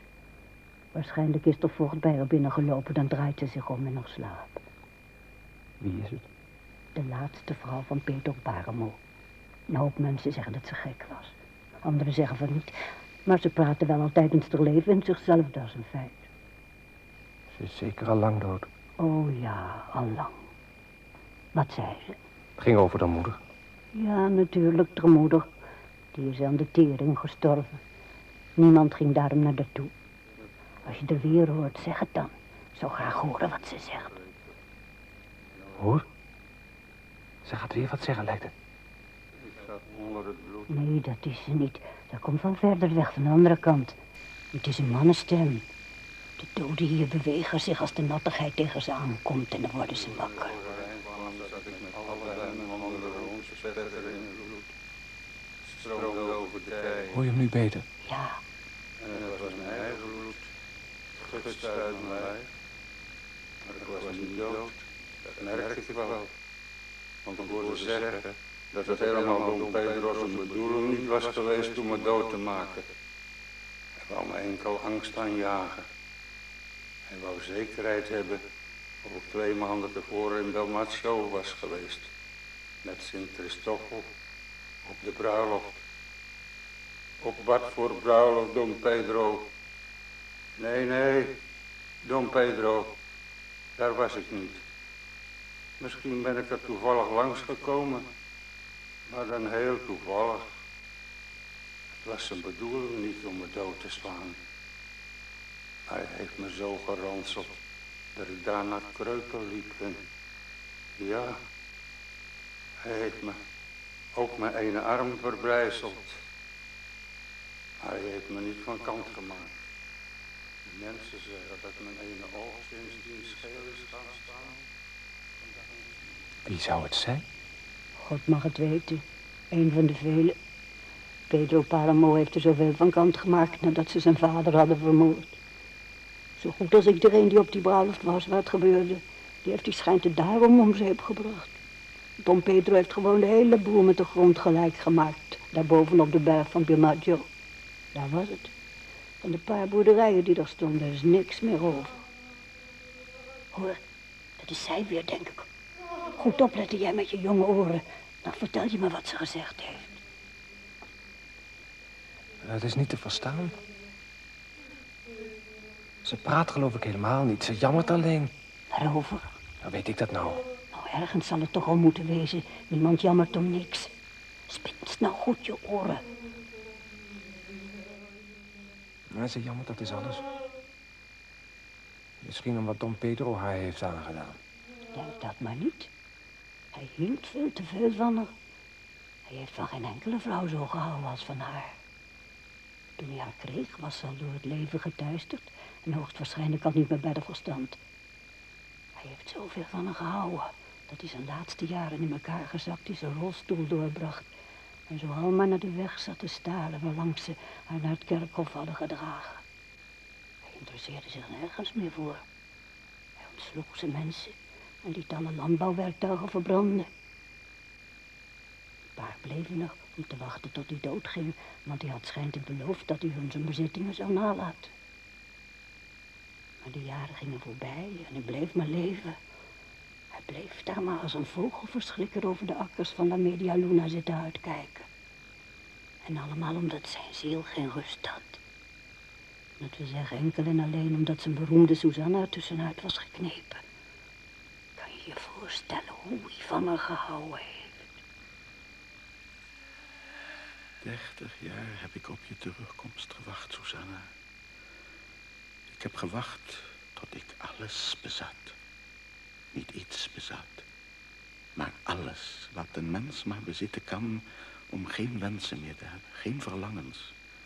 Behalve dat ene, ene verlangen naar jou. Mij interesseert me niet, Bartholomew. Het enige wat ik van je wil is je dochter. Dat is het werk dat je gelukt is. Het was of de hemel voor me openging. Of ik naar je toe moest rennen om je met al mijn blijdschap te overstelpen. En tranen. Ik heb werkelijk tranen gelaten, Susanna, toen ik hoorde dat je eindelijk terug zou komen. Hij wil jou hebben, Susanna. Hij zegt dat jullie met elkaar gespeeld hebben toen jullie kinderen waren. Dat hij je kent. Dat jullie samen in de rivier gingen zwemmen toen jullie kinderen waren. Als ik het had geweten, had ik je met mijn riem doodgeranseld. Daar twijfel ik niet aan. Dus je bent bereid om met hem te slapen? Ja, Bartholomew. Weet je niet dat hij getrouwd is? Dat hij ontelbaar veel vrouwen heeft gehad? Ja, Bartholomew. Noem maar geen Bartholomew, ik ben je vader. Ik heb hem gezegd dat je wel weduwe bent, maar dat je nog steeds met je man leeft. Of tenminste, dat je je zo gedraagt. Ik heb geprobeerd hem ervan af te brengen. Hij krijgt iets angstaanjagends over zich als ik met hem praat. En als je naam wordt genoemd, doet hij zijn ogen dicht. Maar alles wat ik heb gehoord is hij de slechtheid in persoon. De slechtheid in persoon, dat is Pedro Paramo. En wat ben ik? Mijn dochter. Je bent van mij. De dochter van Bartolomé San Juan. Niet waar. niet waar. Wat heeft dat te betekenen? Waarom ontken je dat ik je vader ben? Ben je gek geworden? Weet je dat dan niet? Ben jij gek geworden? Ja, natuurlijk, Bartholomew. Weet je dat dan niet? Weet je, Fulgor, dat het de mooiste vrouw is die er ooit op de hele wereld heeft bestaan. Ik dacht dat ze voor goed voor me verloren was. Ik wil haar niet opnieuw verliezen.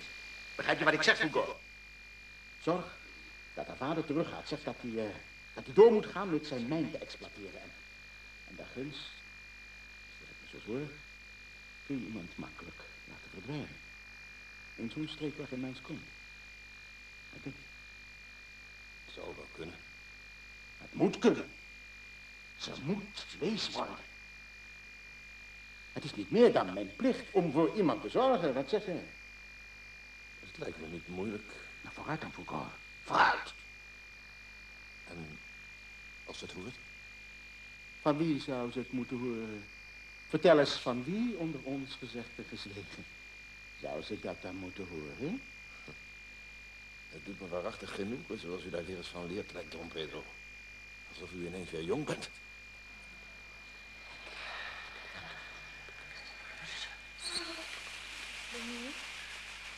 Bartholomew? Ben jij dat, Bartholomew? Je vader is overleden, Susanne. En gisteravond is hij overleden. Er is vandaag bericht gekomen. We kunnen niets meer doen. Hij is al begraven. Het was niet mogelijk om hem hier naartoe te brengen. De afstand is te groot. Nu ben je alleen, Susanna. Dus hij was het toch. Je kwam afscheid nemen, Bartolomé. Ik wist wel dat jij het was.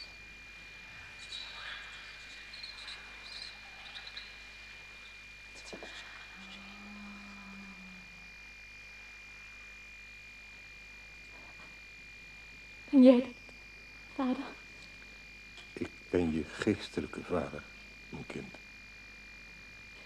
Ik weet waarom je komt, Bartolomé. Om me te vertellen dat mijn lieve Florencio is gestorven. Maar dat weet ik toch al lang. Ik ben gekomen om je troost te bieden, mijn kind. Vader, dan groet ik je. Kom niet meer terug, ik heb je niet nodig. Waarom, als je toch dood bent, kom je naar me toe?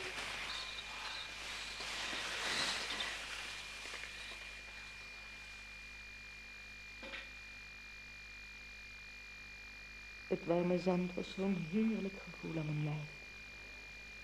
Ik lag met mijn ogen dicht, mijn armen wijd gespreid, mijn benen lang uitgestrekt. De zeewind ging over me heen en de zee lag daar voor me uit, ver weg. Maar hij steeg met de vloed... Nu is zij aan het praten, Juan Preciado. Vergeet me niet te zeggen wat ze zegt. In zee kan ik alleen naakt zwemmen, Florencio, zei ik. En de eerste dag ging hij mee. Hij was ook naakt. En zijn hele lichaam glinsterde toen hij uit zee kwam.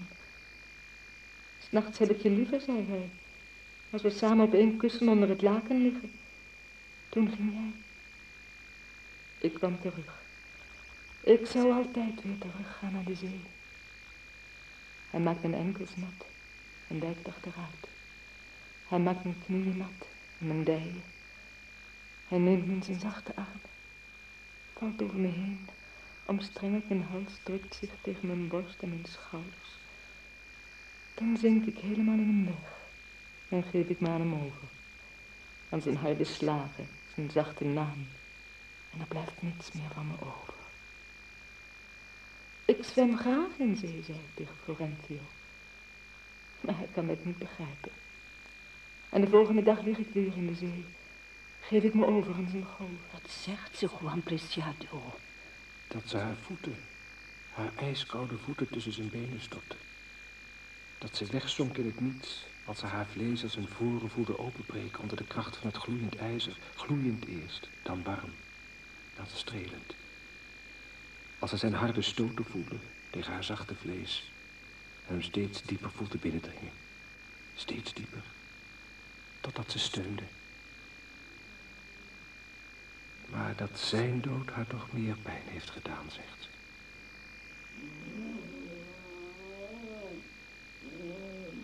De kist waar ze in begraven is, moet kapot zijn gegaan. Het lijkt wel of je de planken hoort breken, zo kraakt het.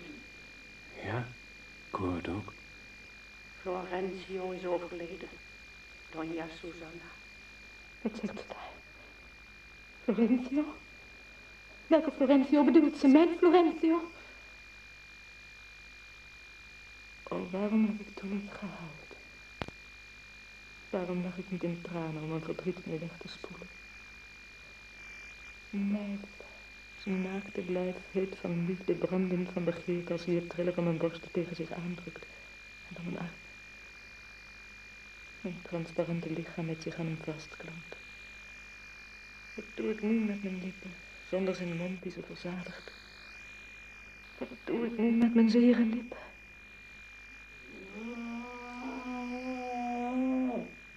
Die beesten slapen nooit. Nooit gaan ze slapen. Net als de duivel. Die is ook altijd op de been. Zieltjes zoeken die je naar de hel kan brengen. God, sta me bij. Dat is Belzebub toch niet die daar drie keer klopt? Om aan te kondigen dat iemand uur heeft geslagen. Iemand die zijn ziel aan hem heeft gekocht. Jana. Die Don Pedro. Oude rokkenjager. Altijd nog dezelfde. Maar waarom hij plezier heeft in dat stiekem gedoe. Doe open, Damiana. Wat is er dan, heer? Doe open. Maar ik slaap al, heer.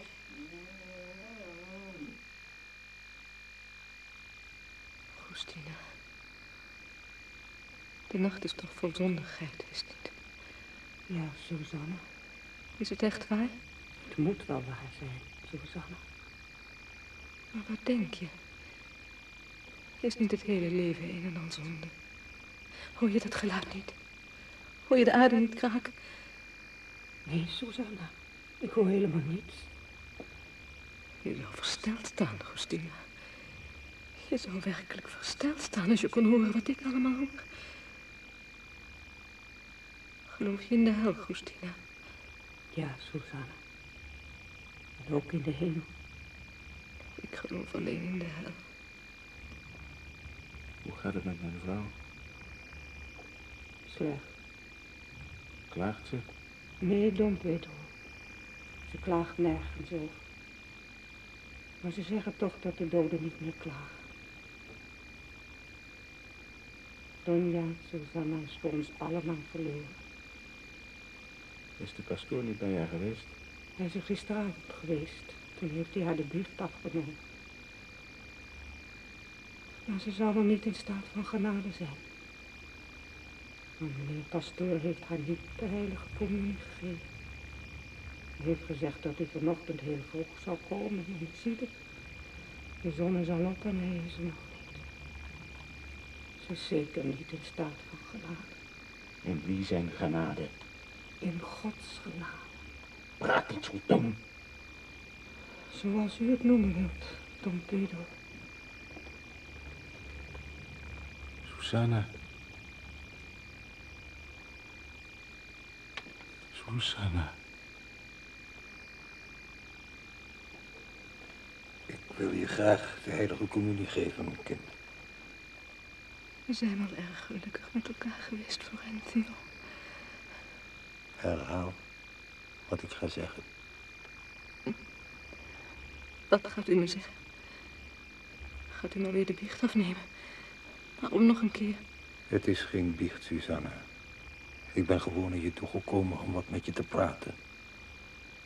Om je voor te bereiden op de dood. Ga ik dan al dood?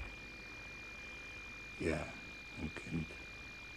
Ik zal doen wat u zegt. Ik heb mijn mond vol aarde. Ik heb mijn mond vol van jou, van jouw mond. Je lippen zijn dicht op elkaar geklemd en hard. En als ze mijn lippen aanraken, is het of ze me bijten. Ik heb mijn Slik, mond schuimer, vol aarde. Ik hou kluitaarde, die kriolen van warm. En warm kronkelen mijn keel elkaar heen schuren langs mijn gehemel. Ik heb mijn mond vol aarde. Mijn mond valt in, wordt een grimas. En dan de boren er doorheen verslinden. Mijn neus wordt gepapt, de gelei van mijn ogen. Mijn haar brandt is een fakkel. Mond vol aarde. Nu nog het goddelijke licht. De verschijning van Gods oneindige. Hij gaf me bescherming in zijn armen. Hij gaf me liefde. Ik ben klaar. Christina, wees zo goed en huil ergens anders.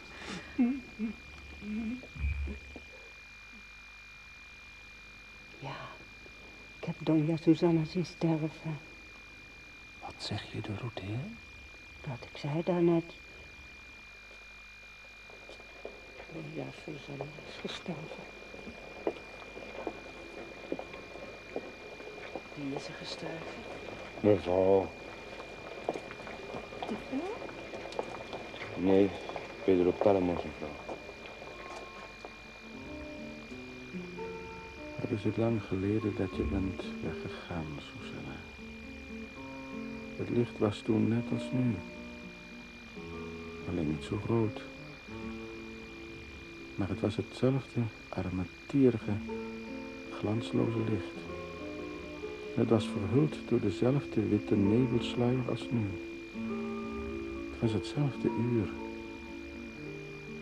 Ik stond hier bij de poort en zag het ochtend worden. En keek hoe jij op weg ging naar de hemel. Van mij vandaan. Naar daarginder. Dat was de laatste keer dat ik je zag. Geef me een halve liter drank, Donja Carmen. Ik, ik kan het gebruiken. Is Koeka weer flauw gevallen? Ze is al gestorven. Gisteren om een uur of elf. Ik, ik heb nog wel mijn ezels verkocht. Ik bedoel, zelfs die heb ik verkocht om, om er weer beter te krijgen. Wat zei je? Dat ik vannacht bij haar gewaakt heb bij mijn dode koeka. Ze is, is gisteravond aan, aan, aan de eind gekomen. Gut, wat zeg je me daar? En zijn er mensen gekomen om bij haar te waken? Eh, Nee, niet één. Daarom moet ik, moet ik die drank ook hebben om, om mijn ellende kwijt, kwijt te raken. Wil je hem vuur? Ja, dat is de gouden meegedronken. Geef maar gauw, ik, ik, heb, ik heb geen tijd. Je krijgt twee deciliter extra van me voor hetzelfde geld, omdat jij het bent. En zeg tegen je vrouw dat ik er altijd heb gemogen. En of ze aan me weer denkt als ze in de hemel komt. Goed, hè. Zeg het er, voor ze begint te vergaan. ik zeg het. hè. Ik, weet dat ze ook op u rekent om voor haar te, bidden. Stel, stel u maar eens voor hoe ongelukkig het arme mens was... dat ze niemand had om, om erbij te staan. Wat, heb je de pastoor dan niet Ja, gehaald? wat hadden we ermee gemoeten? Voor, voor ons is het toch lood om oud ijzer. Geef me maar een glaasje. Doe maar, doe maar een oogje dicht. Dan geef,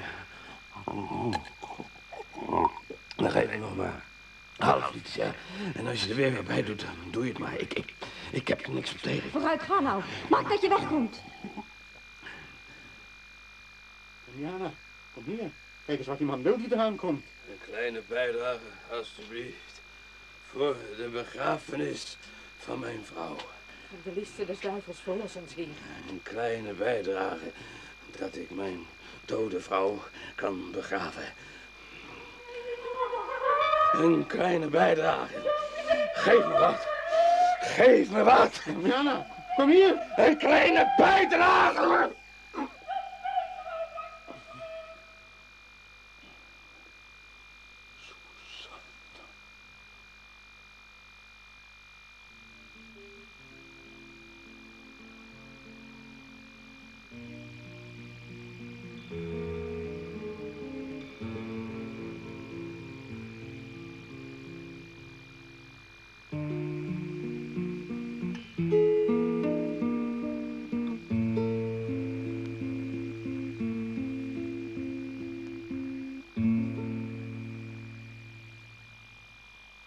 Spektakel hebt u geluisterd naar Padro Paramo van Juan Rolfo. De medewerkenden waren in alfabetische volgorde Ida Andrea, Truus Dekker, Bernard Droog, Tony Folletta, Broes Hartman, Guus Hoes, Eva Jansen, Betty Kapsenberg, Hans Karsenbarg, John Leddy, Paul van der Lek, Corrie van der Linden, Bert van der Linden, Maria Lindes, Tine Medema, Kees van Ooyen, Joke Rijtsma Hachelen, Dogi Rugani, Frans Somers en Lies de Wind. Vertaling Therese Kornips, regie Leon Povel. De roman Pedro Paramo is in vertaling verschenen bij uitgeverij Meulenhof. Volgende week een spektakel, onder andere aandacht voor Tijl Uilenspiegel van Charles de Koster en een gesprek met de schrijver Dirk Kooijman.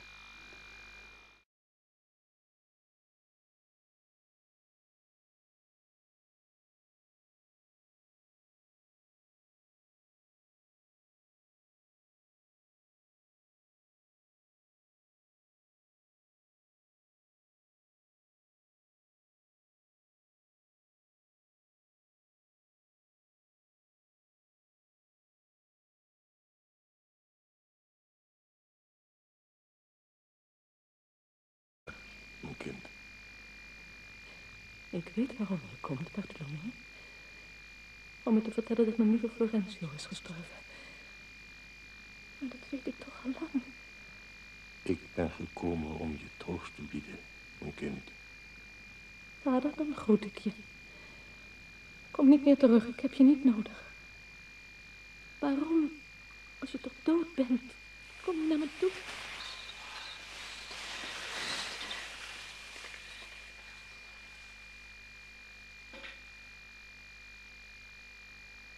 Het warme zand was zo'n heerlijk gevoel aan mijn lijf. Ik lag met mijn ogen dicht. Mijn armen wijd gespreid, mijn benen lang uitgestrekt. De zeewind ging over me heen. En de zee lag daar voor me uit, ver weg. Maar als hij steeg met de vloed... Nu is zij aan het praten, Juan Preciado. Vergeet me niet te zeggen wat ze zegt. In zee kan ik alleen naakt zwemmen, Florencio, zei ik. En de eerste dag ging hij mee. Hij was ook naakt. En zijn hele lichaam glinsterde toen hij uit zee kwam. S'nachts heb ik je liever, zei hij. Als we samen op één kussen onder het laken liggen. Toen ging jij. Ik kwam terug. Ik zou altijd weer teruggaan naar de zee. Hij maakt mijn enkels nat en wijkt achteruit. Hij maakt mijn knieën nat en mijn dijen. Hij neemt me in zijn zachte arm, valt over me heen, omstrengelt mijn hals, drukt zich tegen mijn borst en mijn schouders. Dan zink ik helemaal in hem weg en geef ik me aan hem over. Aan zijn harde slagen, zijn zachte naam. En er blijft niets meer van me over. Ik zwem graag in zee, zei ik tegen Florentio. Maar hij kan het niet begrijpen. En de volgende dag lig ik weer in de zee. Geef ik me over aan zijn golf. Wat zegt ze, Juan Preciado? Dat ze haar voeten, haar ijskoude voeten tussen zijn benen stopte. Dat ze wegzonk in het niets als ze haar vlees als een voren voelde openbreken onder de kracht van het gloeiend ijzer. Gloeiend eerst, dan warm, dan strelend. Als ze zijn harde stoten voelde tegen haar zachte vlees en hem steeds dieper voelde binnendringen. Steeds dieper, totdat ze steunde. Maar dat zijn dood haar toch meer pijn heeft gedaan, zegt ze.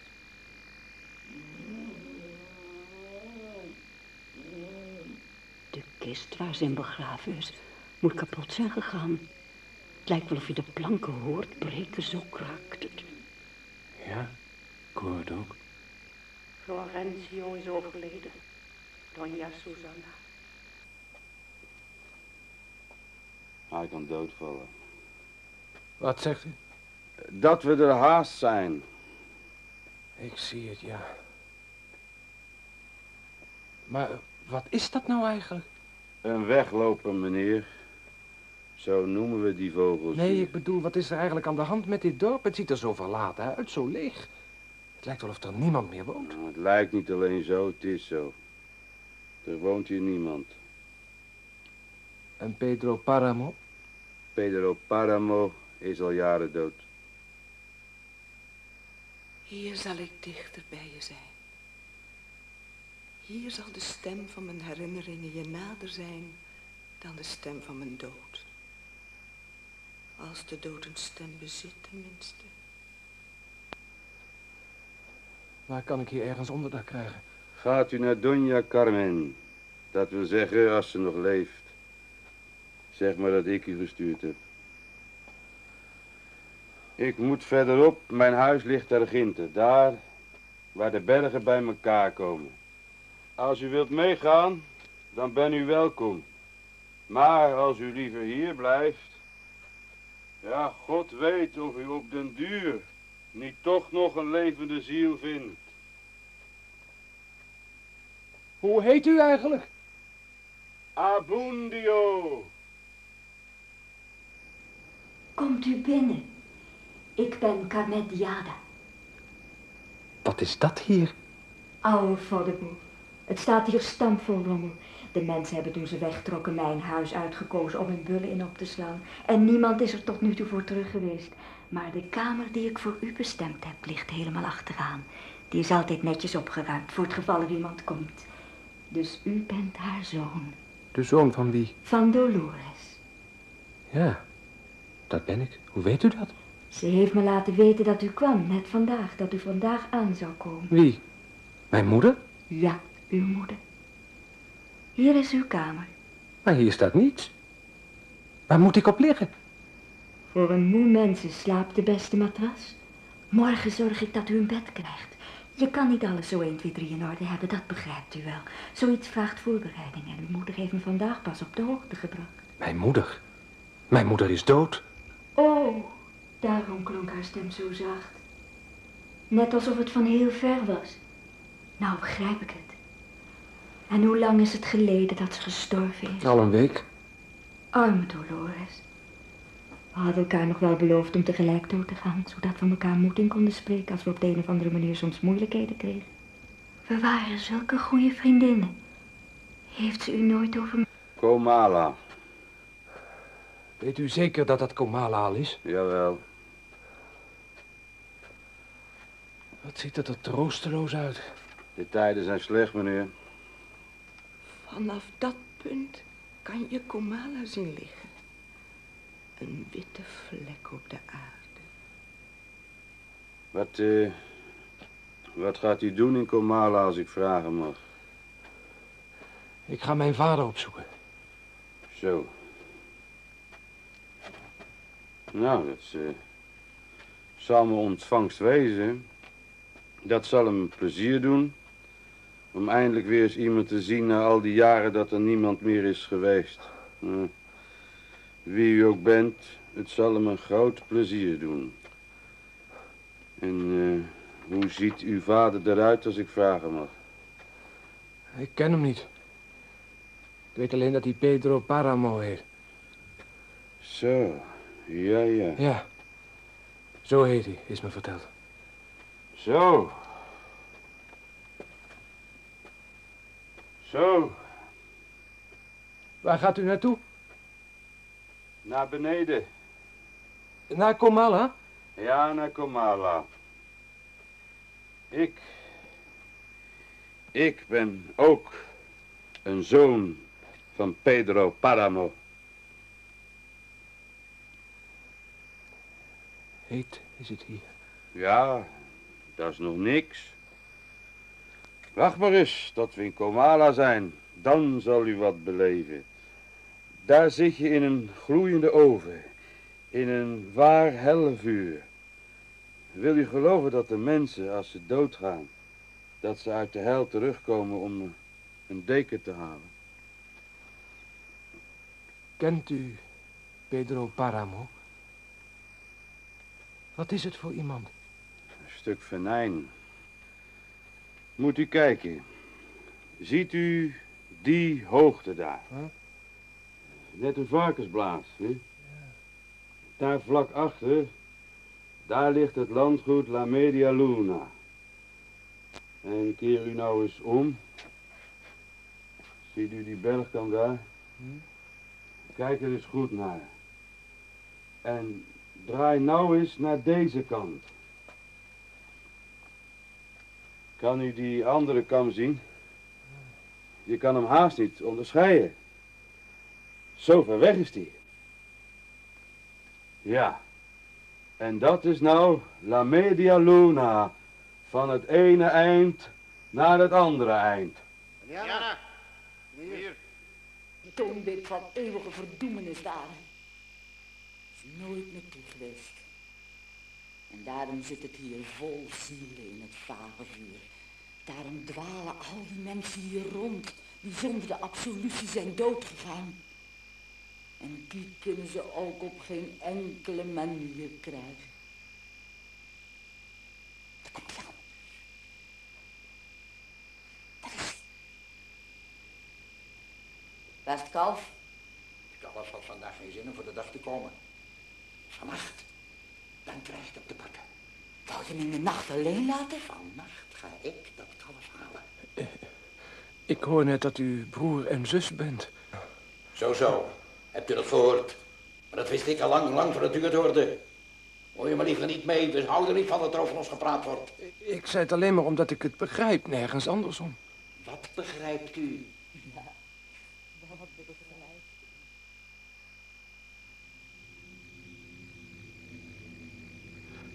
Ik begrijp steeds minder.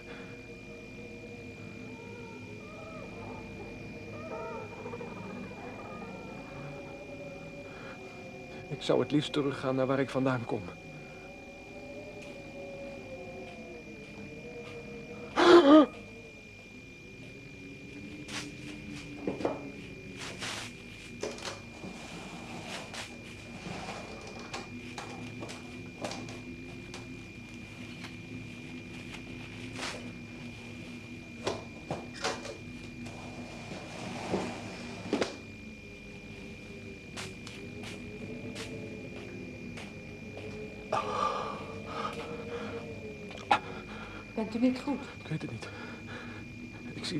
Mensen die u misschien niet ziet.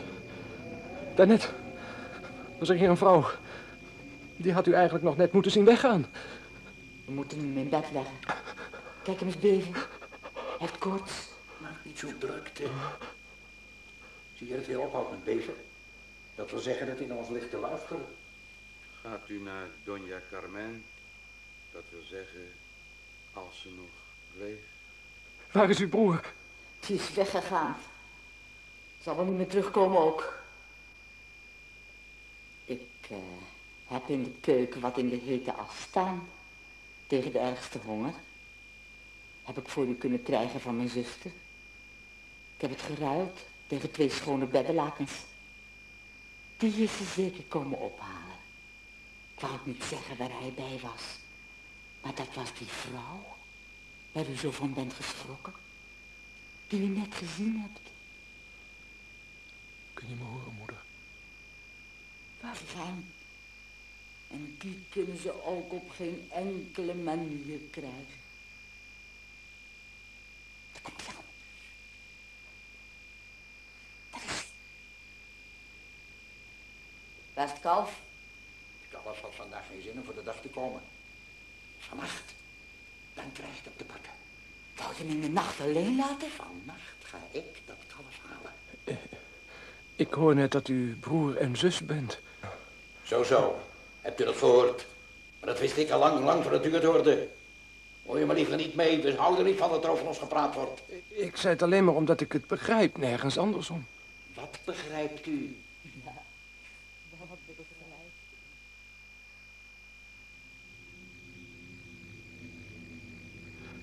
Ik begrijp steeds minder.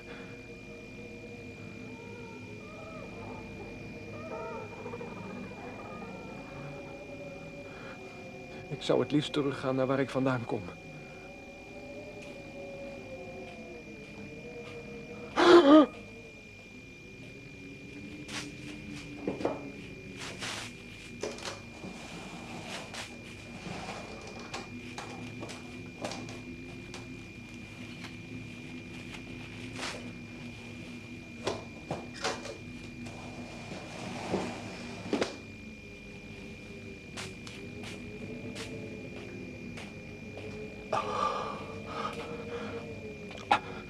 Bent u niet goed? Ik weet het niet. Ik zie dingen en mensen die u misschien niet ziet. Daarnet was er hier een vrouw. Die had u eigenlijk nog net moeten zien weggaan. We moeten hem in bed leggen. Kijk hem eens beven. Hij heeft koorts. Maak niet zo drukte. Zie je dat hij ophoudt met beven? Dat wil zeggen dat hij naar ons ligt te luisteren. Gaat u naar Donja Carmen? Dat wil zeggen, als ze nog leeft. Waar is uw broer? Die is weggegaan. Zal wel niet meer terugkomen ook. Ik eh, heb in de keuken wat in de hete as staan. Tegen de ergste honger. Heb ik voor u kunnen krijgen van mijn zuster. Ik heb het geruild tegen twee schone beddenlakens. Die is ze zeker komen ophalen. Ik wou niet zeggen waar hij bij was. Maar dat was die vrouw waar u zo van bent geschrokken. Die u net gezien hebt. Kun je me horen, moeder? Waar ben je? Hier, in het dorp. Bij je eigen mensen. Zie je me niet? Nee, mijn jongen. Ik zie je niet. Daar wachtte hij op. Dat er eens iemand zou komen. Dan kon hij wel... nacht onder geen voorwaarden met een man mocht slapen, omdat de maan dol was. Dolores kwam heel verlegen naar me toe en vertelde dat ze die nacht niet met Pedro Paramo naar bed kon gaan. Het ging gewoon niet, zei ze. En het was haar huwelijksnacht. Dus ik haar aan het bepraten. Dat ze zich toch niet zo die gladdakken van een springhaan moest laten wijsmaken. Kan niet. Ga jij in mijn plaats, dat merkt hij vast niet. Ik was natuurlijk veel jonger dan zij. En ik had ook niet van het bruine haar. Maar in het donker zie je het toch niet? Wees nou zo lief en doe het. Ik zal een andere keer iets terug doen voor jou. In die tijd was je moeder een jong ding met zachte ogen. Als er iets aan haar mooi was, dan wel haar ogen. Dan kon ze je daar ook mee overhalen. En dus ging ik. Geholpen door het donker. En ook nog door wat anders. Maar daar wist zij niks van. Ik was zelf namelijk ook verliefd op Pedro Paramo. Ik ging met hem het bed in. Ik brandde van verlangen, ik was wild op hem. Ik drukte me tegen zijn lichaam aan. Maar van al het feesten de hele dag kon hij niet meer. Hij deed de hele nacht niks anders dan snurken. Alleen stak hij zijn benen tussen de mijne. Voordat het dag werd, stond ik op en ging naar Dolores. Zo, zei ik, nou kan je naar hem toe. Nou is het alweer een nieuwe dag. Wat heeft hij met je gedaan? Dat weet ik nog niet, zei ik. Het jaar daarop werd jij geboren. Maar niet bij mij. Al heeft het aan een zijden draadje gehangen of het was wel zo geweest. Misschien schaamde je moeder zich om dat te vertellen. Mijn moeder? Ze heeft Pedro Paramo altijd gehaat. Doloritas, waar blijft mijn ontbijt? Voor dag en dauw stond ze op om het vuur aan te maken. De katten werden wakker van de rooklucht. Doña Doloritas, Hoe vaak heeft je moeder dat niet moeten horen? Doña Doloritas, dat is koud. Dit is niet te eten. Hoeveel keren niet?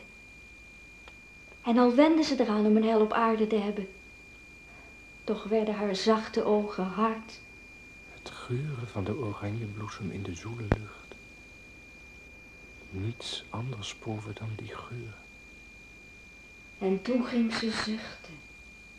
Waarom zucht je zo, Doloritas? Ik was die middag met hem samen op het veld. We keken naar de zwermende spreeuwen die overvlogen. Gedempt. Net of ze me in het langsgaan iets toefluisterde. Of het in mijn oren zoemde. Vanaf dat ik dat huis uit was gegaan van die vrouw die me naar bed had gehaald. En ik haar in haar zweet had zien wegsmelten. Vanaf toen had ik het koud. En hoe verder ik doorliep, hoe kouder dat ik het kreeg. Ik wou teruggaan, want ik dacht eerst dat ik de warmte dan weer terug kon krijgen die ik daarachter had gelaten. Maar ik merkte al na een paar stappen dat de kou in mezelf zat, in mijn eigen bloed. En toen besefte ik dat het kwam doordat ik bevangen was van afgrijzen. Op dat moment hoorde ik dat rumoer op het plein en ik dacht dat de angst wel van me af zou vallen als ik maar tussen de mensen zat. Zo komt het dat jullie me dood hebben aangetroffen. Waarom ben je eigenlijk hier naartoe gekomen? Om Pedro Paramo op te zoeken. De man die mijn vader schijnt te zijn geweest. Een illusie heeft me hier naartoe gebracht. Een illusie. Daar moet je duur voor betalen.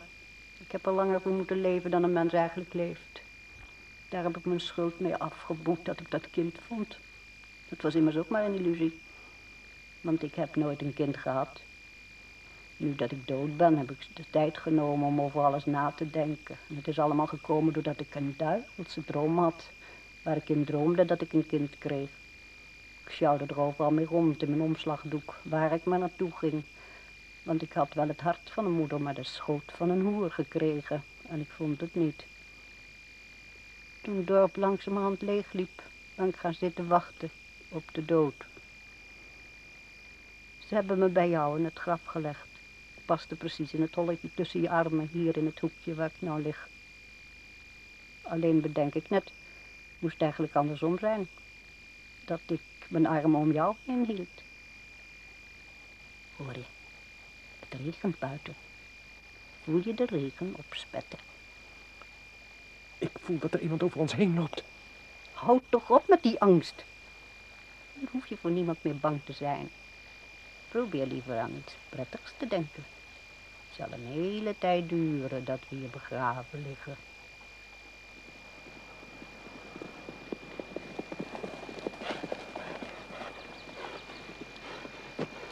Zo, Miguel, waar kom jij op dit uur vandaan? Van het melken? Waar kan je nou weer gaan molken? Raad jij nooit. Zal Dorothea wel geweest zijn, die is gek op zuigelingen. Je bent een idioot, Voelburger, kan je het niet helpen. Waar ben je geweest, Miguel? Bij de vrouwtjes. Oh, neem me niet kwalijk, Miguel. Ik bedoelde er niets mee. Hoe wil je jij hier hebben? Net zoals jij ze graag hebt. Miguel, ik spreek toch ook beleefd tegen jou? Oh, doe dan niet aan, dan trek het je niet aan. Vertel eens. Ben jij een zekere Dorothea? Tuurlijk ken ik die. Ze loopt altijd. Hé, naar de regen zitten kijken. Honderden meters ver boven alle wolken. Ver, ver voorbij alles wat er bestaat. Ben jij verborgen, Susanna? Vooruit opgeschoten. Ga de molen schoonmaken. Grootmoeder, die molen is niet meer te gebruiken, de schroef is versleten. Dan kopen we geen nieuwe.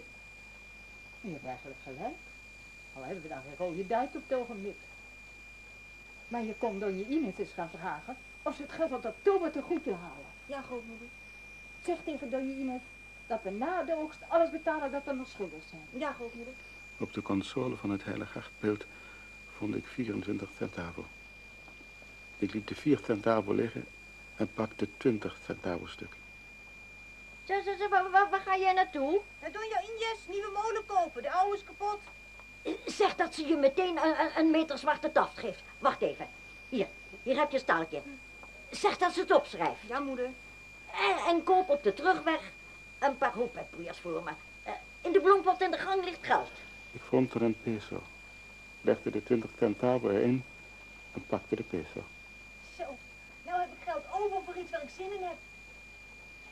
Ik zag de druppels in straaltjes neerstromen. Ik zag ze opgloeien in het weerlicht en elke ademhaling was een zucht. En elke gedachte een denken aan jou, Susanna.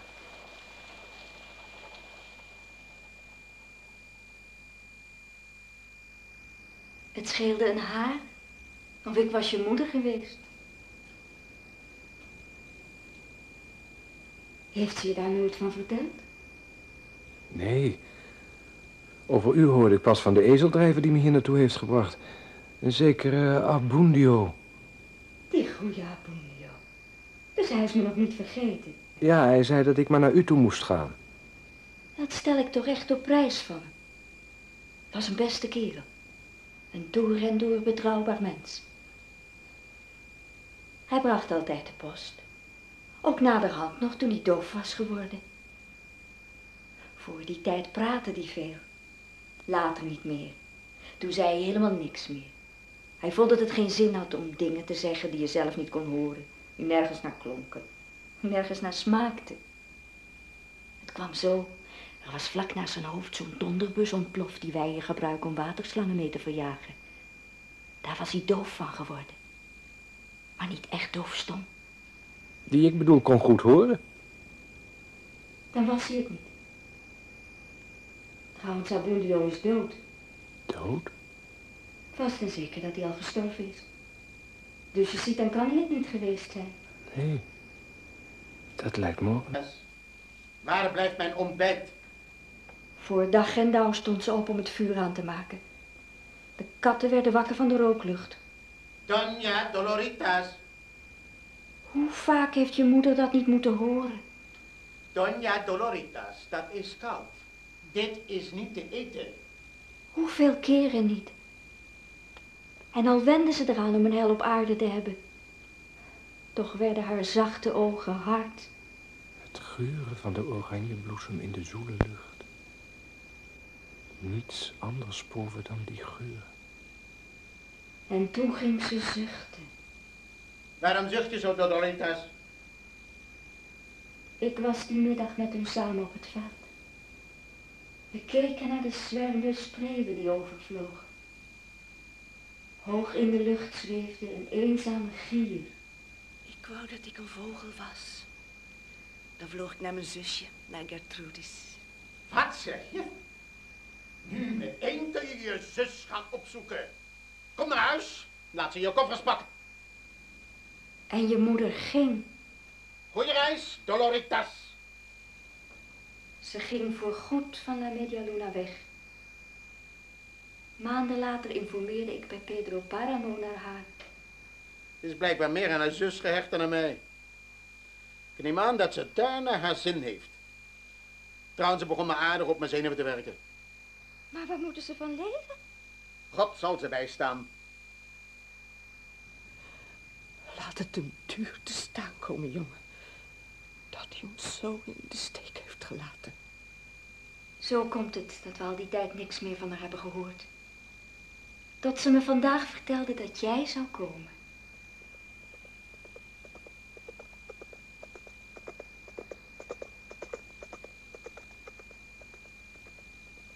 De dag dat je wegging, Susanna, wist ik dat ik je nooit meer terug zou zien. Ik dacht, ze komt nooit meer terug. Steeds weer dacht ik dat bij mezelf. Susanna komt nooit meer terug. Nooit meer. Wat doe je daar? Moet je niet aan de werk? Nee, grootmoeder. Rogelio wil dat ik op het kind pas, terwijl hij intussen in de biljartzaal bier zit te drinken. En ik krijg er niet eens voor betaald. Je zit hier ook niet om geld te verdienen. Om te leren. Want voorlopig ben je nog maar in de leer. Morgen of overmorgen ben je misschien al de baas. Maar daarvoor moet je geduld hebben. En in de eerste plaats bescheiden zijn. Dat is goed voor een ander, grootmoeder. Ik ben niet in de wieg gelegd om bescheiden te zijn. Ik ben niet in de wieg gelegd om bescheiden te zijn. Jij altijd met je grote woorden. Klinken wellicht mooiere stemmen. Kortom, er is hoop. Er is hoop voor ons. Of wij willen of niet, maar niet voor jou. Miguel Paramo. Jij, die in doodzonde gestorven bent. Jij zult geen genade vinden. Eerwaarde, wij zouden graag zien dat u hem zegent. Nee, dat doe ik niet. Hij was een slecht mens. Hij komt zeker niet in de hemel. God zou het niet goed vinden als ik voor hem bad. Erbarm u over uw dienaar. Hij rust in vrede. Amen.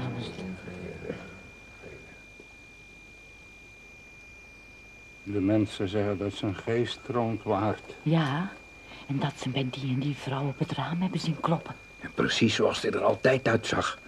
Met leren broek en al. Als je denkt dat die woesteling van een Don Pedro het goed zou vinden dat hij het nog met vrouwen aanlegt. Als hij het wist, nou, ik hoor al wat hij zou zeggen. Jij bent nu dood. Blijf dus maar rustig in je graf liggen en laat de rest aan ons over. Ik wed, als hij hem daar aantrof, dat hij hem voor de tweede keer naar het kerkhof bracht. Geloof dat maar. Jou laat niet met zich sollen. Ik weet dat u hem haat, eerwaarde. En met reden. De moord op uw broer die hij zou hebben begaan.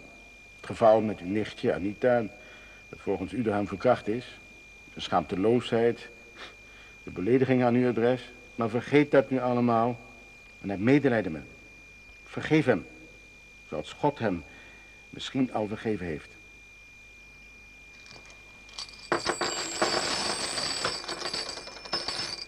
Hier is een gift voor uw kerk.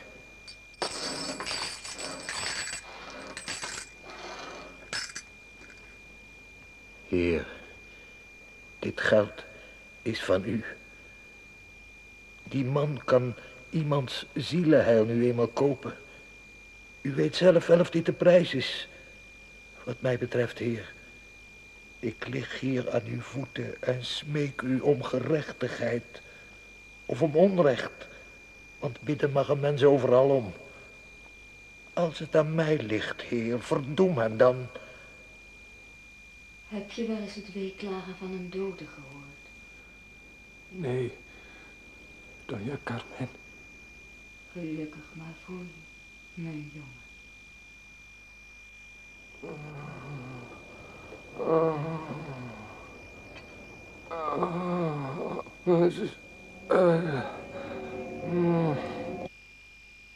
De dat? Even naar de beste. Nee, wat? Mensen ze zeggen, hé, het is en meisjes. Ze zijn er bovenaf. Zou dat zo zijn? Nou, met die oude vent heb ik niks te maken. Hallo. Zullen we maar weggaan? Ja, laten we maken dat ik weg Hallo. Hallo. Wie heeft je dat gezegd? Dat de grond niet meer van mij is. Je hebt het aan Pedro Paramo verkocht, zeggen ze. Met dat heerschap heb ik niks te schatten. Maar dan ook niks, niks! Dat stuk grond is van mij. En het blijft van mij, van mij! Zeg jij? Dat zei jij, maar de mensen zeggen dat het allemaal van hem is. Dat moeten ze me dan eens in mijn gezicht proberen te zeggen. Luister nou. We zijn onder elkaar. Hm? Ik kun je niet beledigen. Je bent per slot met mijn zus getrouwd. Je bent goed voor haar, dat weten we allemaal. Maar je wilt tegenover mij toch niet volhouden dat jij dat land niet verkocht hebt? Ik verzeker het je. Ik heb het aan niemand verkocht. Maar het is wel van Pedro Paramo.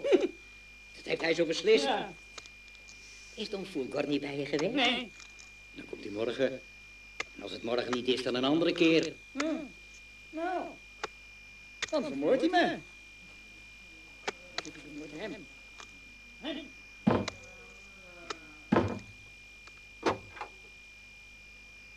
Doet u daar? Ik ben hier naartoe gereisd om... om mijn vader te zoeken. Komt u dan binnen? Bent u ook dood, allebei? Hij is dronken. Wel, nee. Dat is angst dat hij zo doet. U hoort iemand jammeren. En met zijn hoofd tegen de deur slaan. Nou, en daar stond u. Is er iets met u gebeurd? Er is zoveel met me gebeurd dat ik alleen maar wil slapen. Wij hebben al geslapen. Goed. Dan gaan we slapen.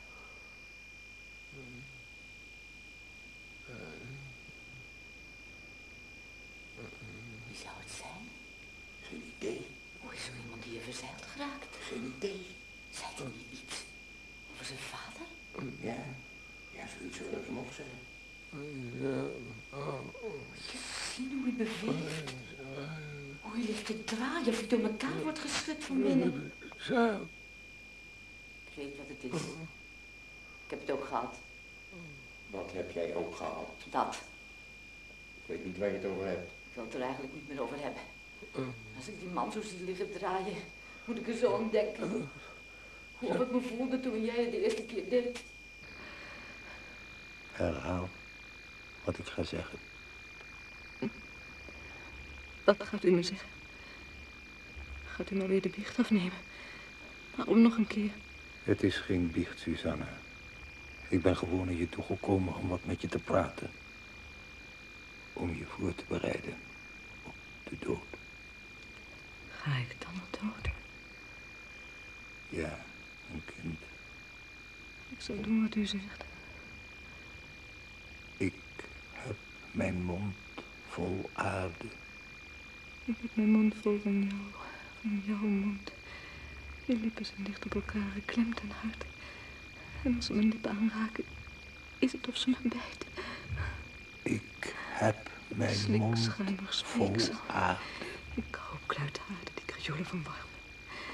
En warm kronkelen mijn keel elkaar heen het schuren langs mijn gehemel. Ik heb mijn mond vol aarde. Mijn mond valt in, wordt een grimas. En dan de boven er doorheen verslinden. Mijn neus wordt pap, dus je lijf en mijn ogen smelten. Mijn haar brandt is het vakken. Mond vol aarde. Nu nog het goddelijke licht. De verschijning van Gods oneindige. Hij gaf me bescherming in zijn armen. Hij gaf me liefde. Ik ben klaar. Goestina, wees zo goed en huil ergens anders.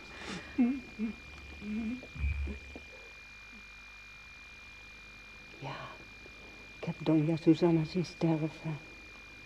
Wat zeg je, Dorothea? Dat ik zei daarnet. Donja Susanna is gestorven. Wie is er gestorven? Mevrouw. Vrouw? Nee, Pedro Palamos, mevrouw.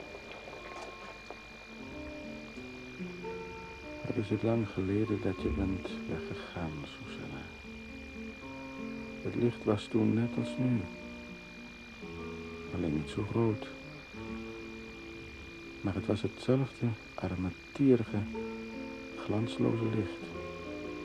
Het was verhuld door dezelfde witte nebelsluier als nu. Was hetzelfde uur. Ik stond hier bij de poort en zag het ochtend worden. En keek hoe jij op weg ging naar de hemel. Van mij vandaan. Maar God zou het niet goed vinden als ik voor hem bad. Erbarm u over uw dienaar. Hij rust in vrede. Amen.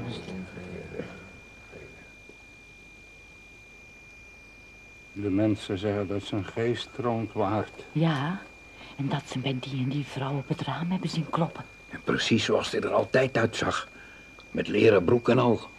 Als je denkt dat die woesteling van een Don Pedro het goed zou vinden dat hij het nog met vrouwen aanlegt. Als hij het wist, nou, ik hoor al wat hij zou zeggen. Jij bent nu dood.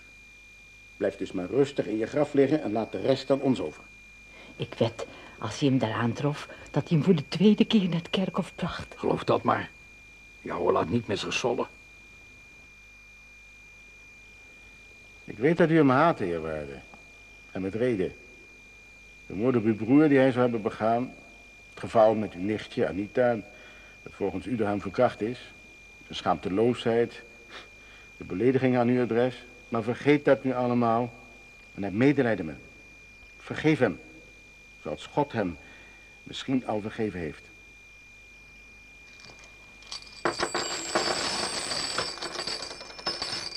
Hier is een gift voor uw kerk.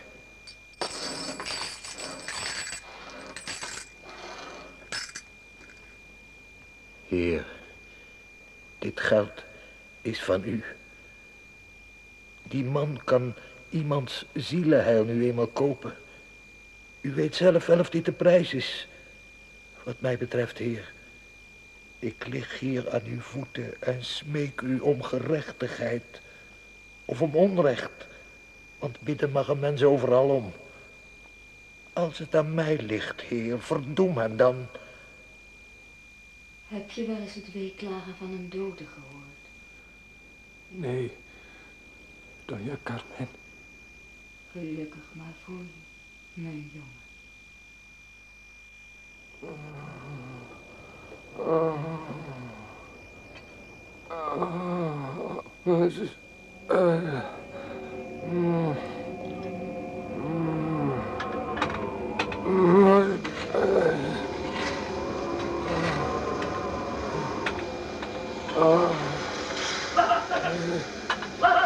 Yeah.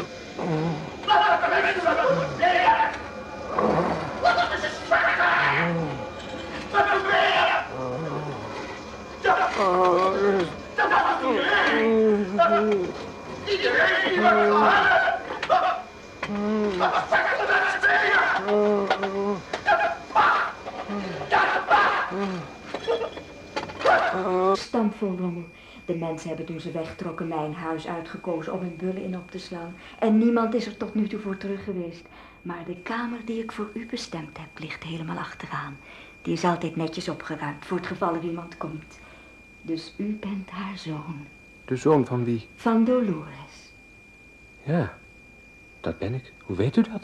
Ze heeft me laten weten dat u kwam, net vandaag. Dat u vandaag aan zou komen. Wie?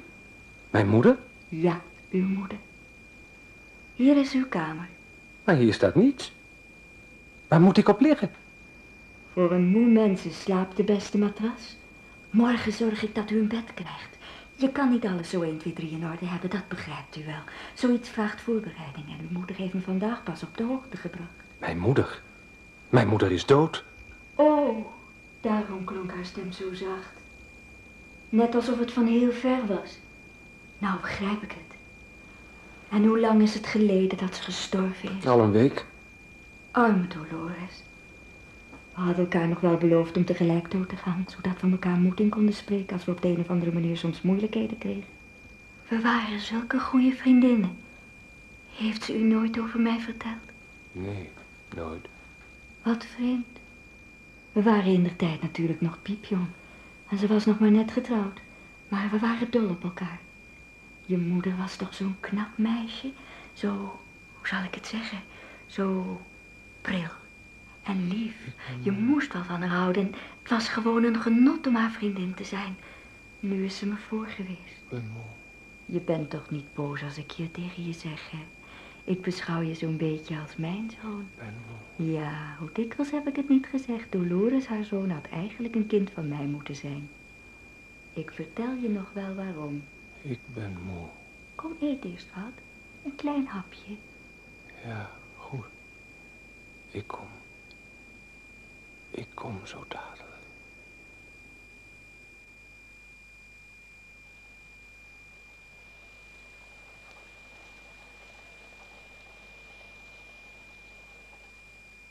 Wat doe je daar op het stilletje, Pedro?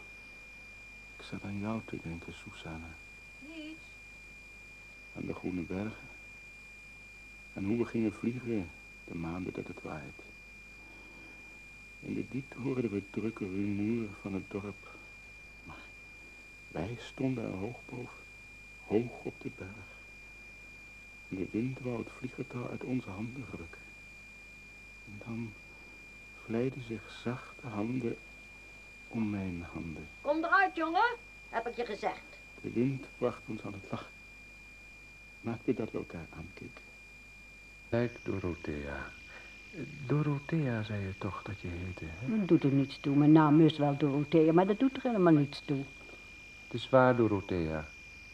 Dat gefluister, dat was mijn dood. Jong, daar ik verteerd werd door dromen. Daar zul je mijn thuis vinden.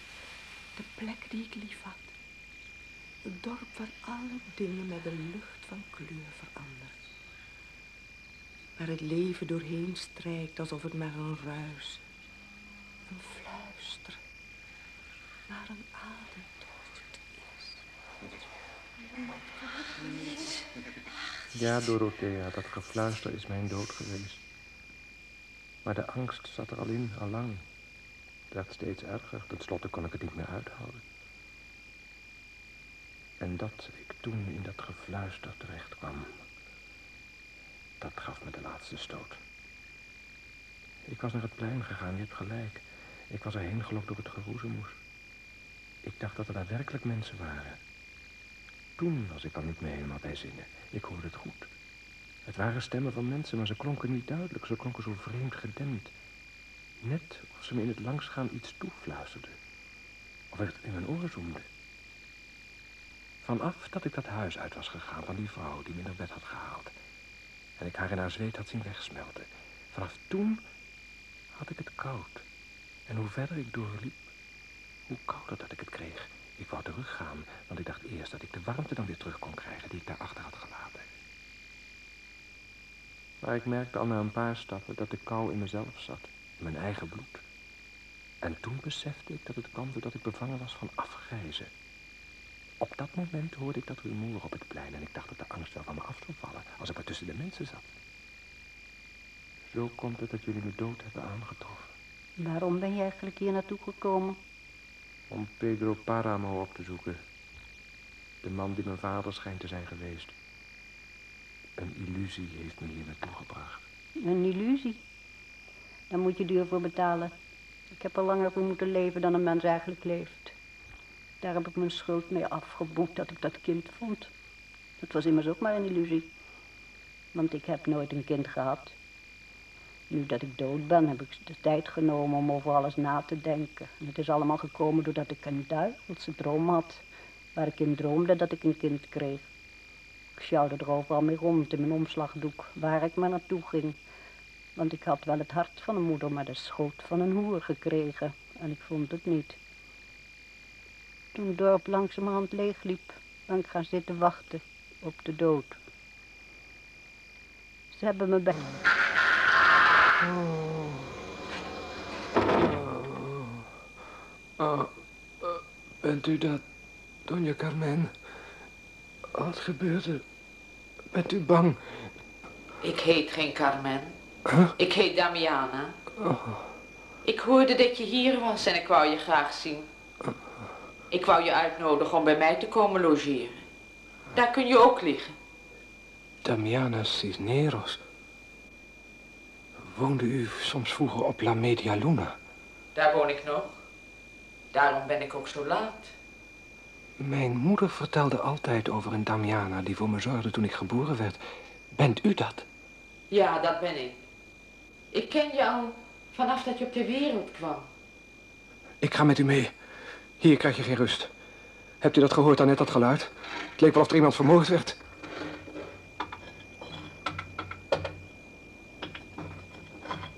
Misschien een of andere echo die hier zit opgesloten. Jaren en jaren geleden is Toribio Aldrete in deze kamer opgehangen. En toen hebben ze de deur dichtgemetseld totdat zijn lijk was uitgedroogd, zodat hij geen rust zou vinden. Ik begrijp trouwens niet hoe je hier bent binnengekomen. Er bestaat helemaal geen sleutel meer van deze deur. Donja Carmen heeft hem opengemaakt. Ze zei dat het de enige kamer was die ze beschikbaar had. Carmen Diada. Ja. Fulgor Sedano. Oud, Arme 54 Carmen. jaar. Ze heeft dus nog steeds geen rust gevonden. Rentmeester van beroep. Bevoegd om bij volmacht of namens mezelf op te treden.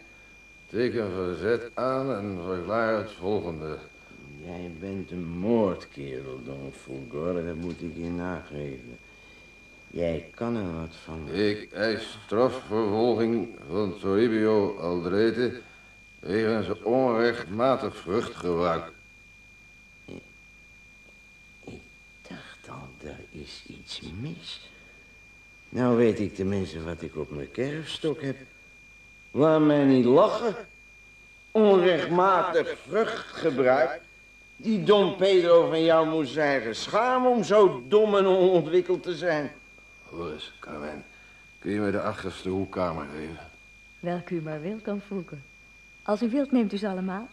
Blijven uw mensen hier overnachten? Nee, Ema. We komen je verder niet om ons en gaan naar bed. Als je de sleutel maar hier laat. Nee, wat ik zeg, Don Fulgor, jij bent een moordkerel. Maar die landjonker van je, dat hoerenjong, daar veeg ik me...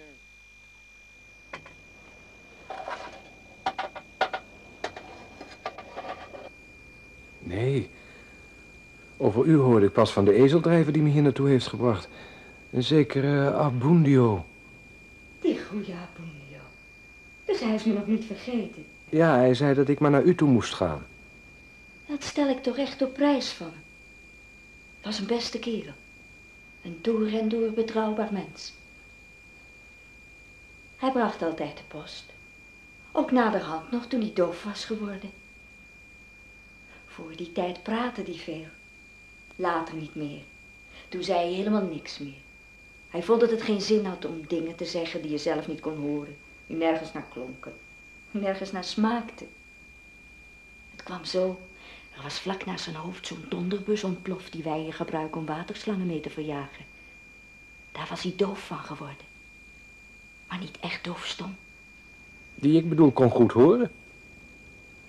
Dan was hij het niet. Trouwens, Abundio is dood. Dood? Vast en zeker dat hij al gestorven is. Dus je ziet, dan kan hij het niet geweest zijn. Nee. Dat lijkt me ook niet. Maar goed, om op je moeder terug te komen. Ik wou je net vertellen. Die man dus, over wie ik het net wou hebben, die was paardentemmer op La Media Luna.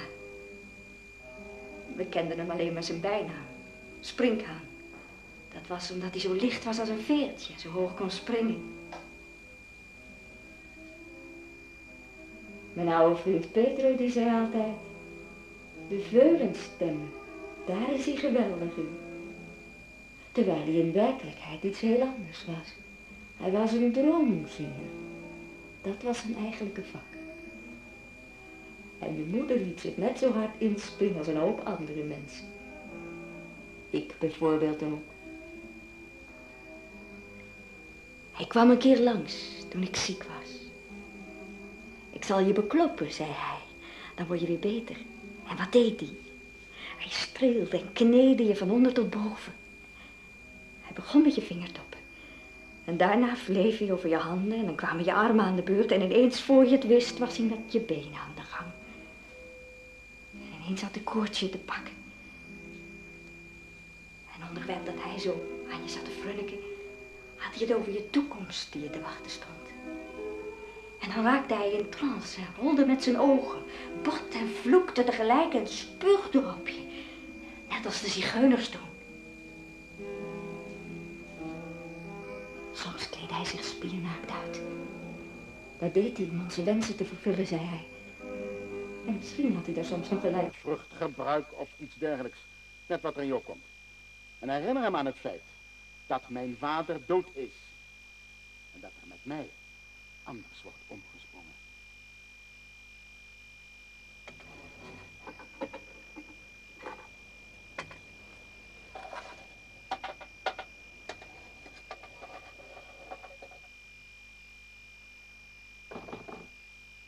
Binnen voorwaar. Is de kwestie Toribio Aldrete afgehandeld? Geheel afgehandeld, Don Pedro.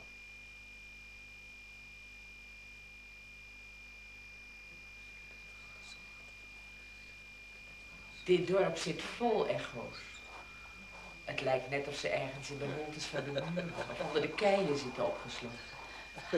Als je rondloopt heb je het gevoel dat er iemand achter je aanloopt. Je wordt geknecht en gelach. Heel oud gelach, dat al moe is van het lachen. En stemmen die versleten zijn. Dat hoor je allemaal. Maar er zal toch wel eens een dag komen, denk ik altijd, dat al die geluiden verstommen. Een tijd lang hoorde ik nachten achter elkaar een soort feestgedruis. Het lawaai drong helemaal tot bij mij door op La Media Luna. Ik kwam hier naartoe om de kermis eens te bekijken. En wat zag ik? Precies wat we hier nu zien. Niets.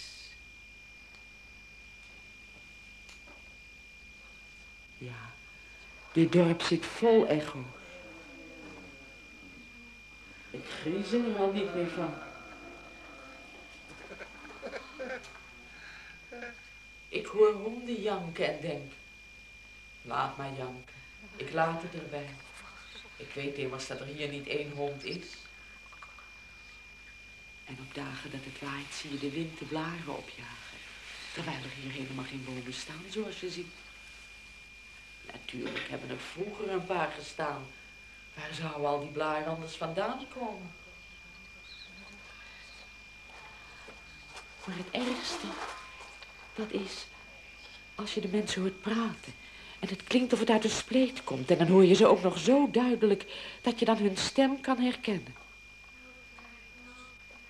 Dus schrik niet als je echo's hoort, Juan Preciado. Hebt u ook bericht van mijn moeder gekregen dat ik zou komen? Nee. Hoe gaat het trouwens met je moeder? Ze is overleden. Is ze overleden? Dat is nog niks. Wacht maar eens tot we in Komala zijn. Dan zal u wat beleven. Daar zit je in een gloeiende oven. In een waar hellevuur. Wil u geloven dat de mensen, als ze doodgaan, dat ze uit de hel terugkomen om een deken te halen? Kent u Pedro Paramo? Wat is het voor iemand? Een stuk venijn. Moet u kijken. Ziet u die hoogte daar? Net een varkensblaas, hè? Daar vlak achter, daar ligt het landgoed La Media Luna. En keer u nou eens om. Ziet u die bergkant daar? Kijk er eens goed naar. En draai nou eens naar deze kant. Kan u die andere kam zien? Je kan hem haast niet onderscheiden. Zo ver weg is die. Ja. En dat is nou La Media Luna. Van het ene eind naar het andere eind. Hier. Kijk eens wat van een wild eraan komt. Een kleine bijdrage, alsjeblieft. Voor de verhaaltenis.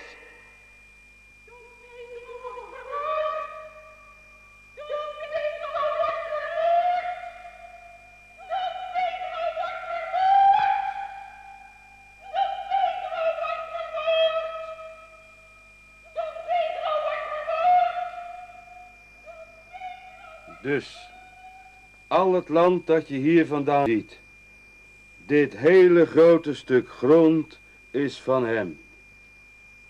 Jawel, en dan mogen we Pedro Paramo's zoon zijn, maar onze moeders hebben ons bar genoeg op een smerige mat ter wereld gebracht.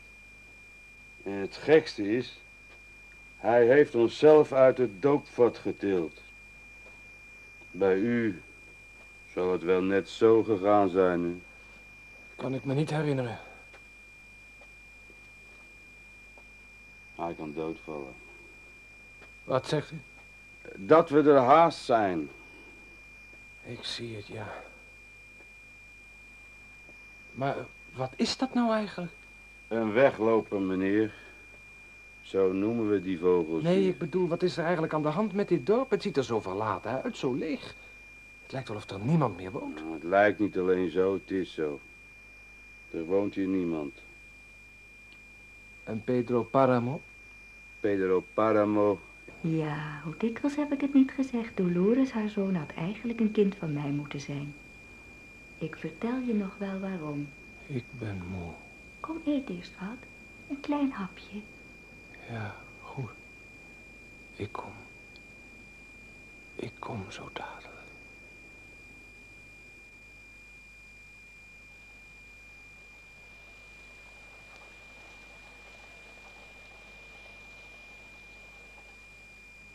Wat doe je daar op het stilletje, Pedro? Ik zat aan jou te denken, Susanna. Niets. Aan de Groene Bergen. En hoe we gingen vliegen de maanden dat het waait. In de diepte hoorden we het drukke rumoer van het dorp. Maar wij stonden er hoog boven, hoog op de berg. En de wind wou het vliegertouw uit onze handen rukken. En dan vleiden zich zachte handen om mijn handen. Kom eruit, jongen, heb ik je gezegd. De wind bracht ons aan het lachen. Maakte dat we elkaar aankeken. En het touw tussen onze vingers liet zich meetrekken door die wind, dat hij het met een zachte tik afknapte, Ja, ik kom, moeder. Kom. alsof de wiekslag van een vogel het doormidden sneed. De papieren vogel daarboven kwam kopje duikelend omlaag, met zijn staart van lappen achter zich aan, en verdween dan in het groen. Als jij daar nog lang blijft zitten, dan komt er een slang. En die bijt je. De lippen waren vochtig, Susanna. Of de touw ze had gekust. Ja, moeder. Wat heb je daar nou toch zo lang te zitten? Wat voel Ik je zat uit? aan jou te denken, zoals je daar stond. En me aankeek met je zeegroene ogen. Ik denk na. Kan je dat niet ergens anders doen? Het is ongezond om zo lang op het stilletje te zitten. Trouwens, je kon best eens wat helpen. Ga je grootmoeder met de mais helpen? Ga al, moeder. Ga al.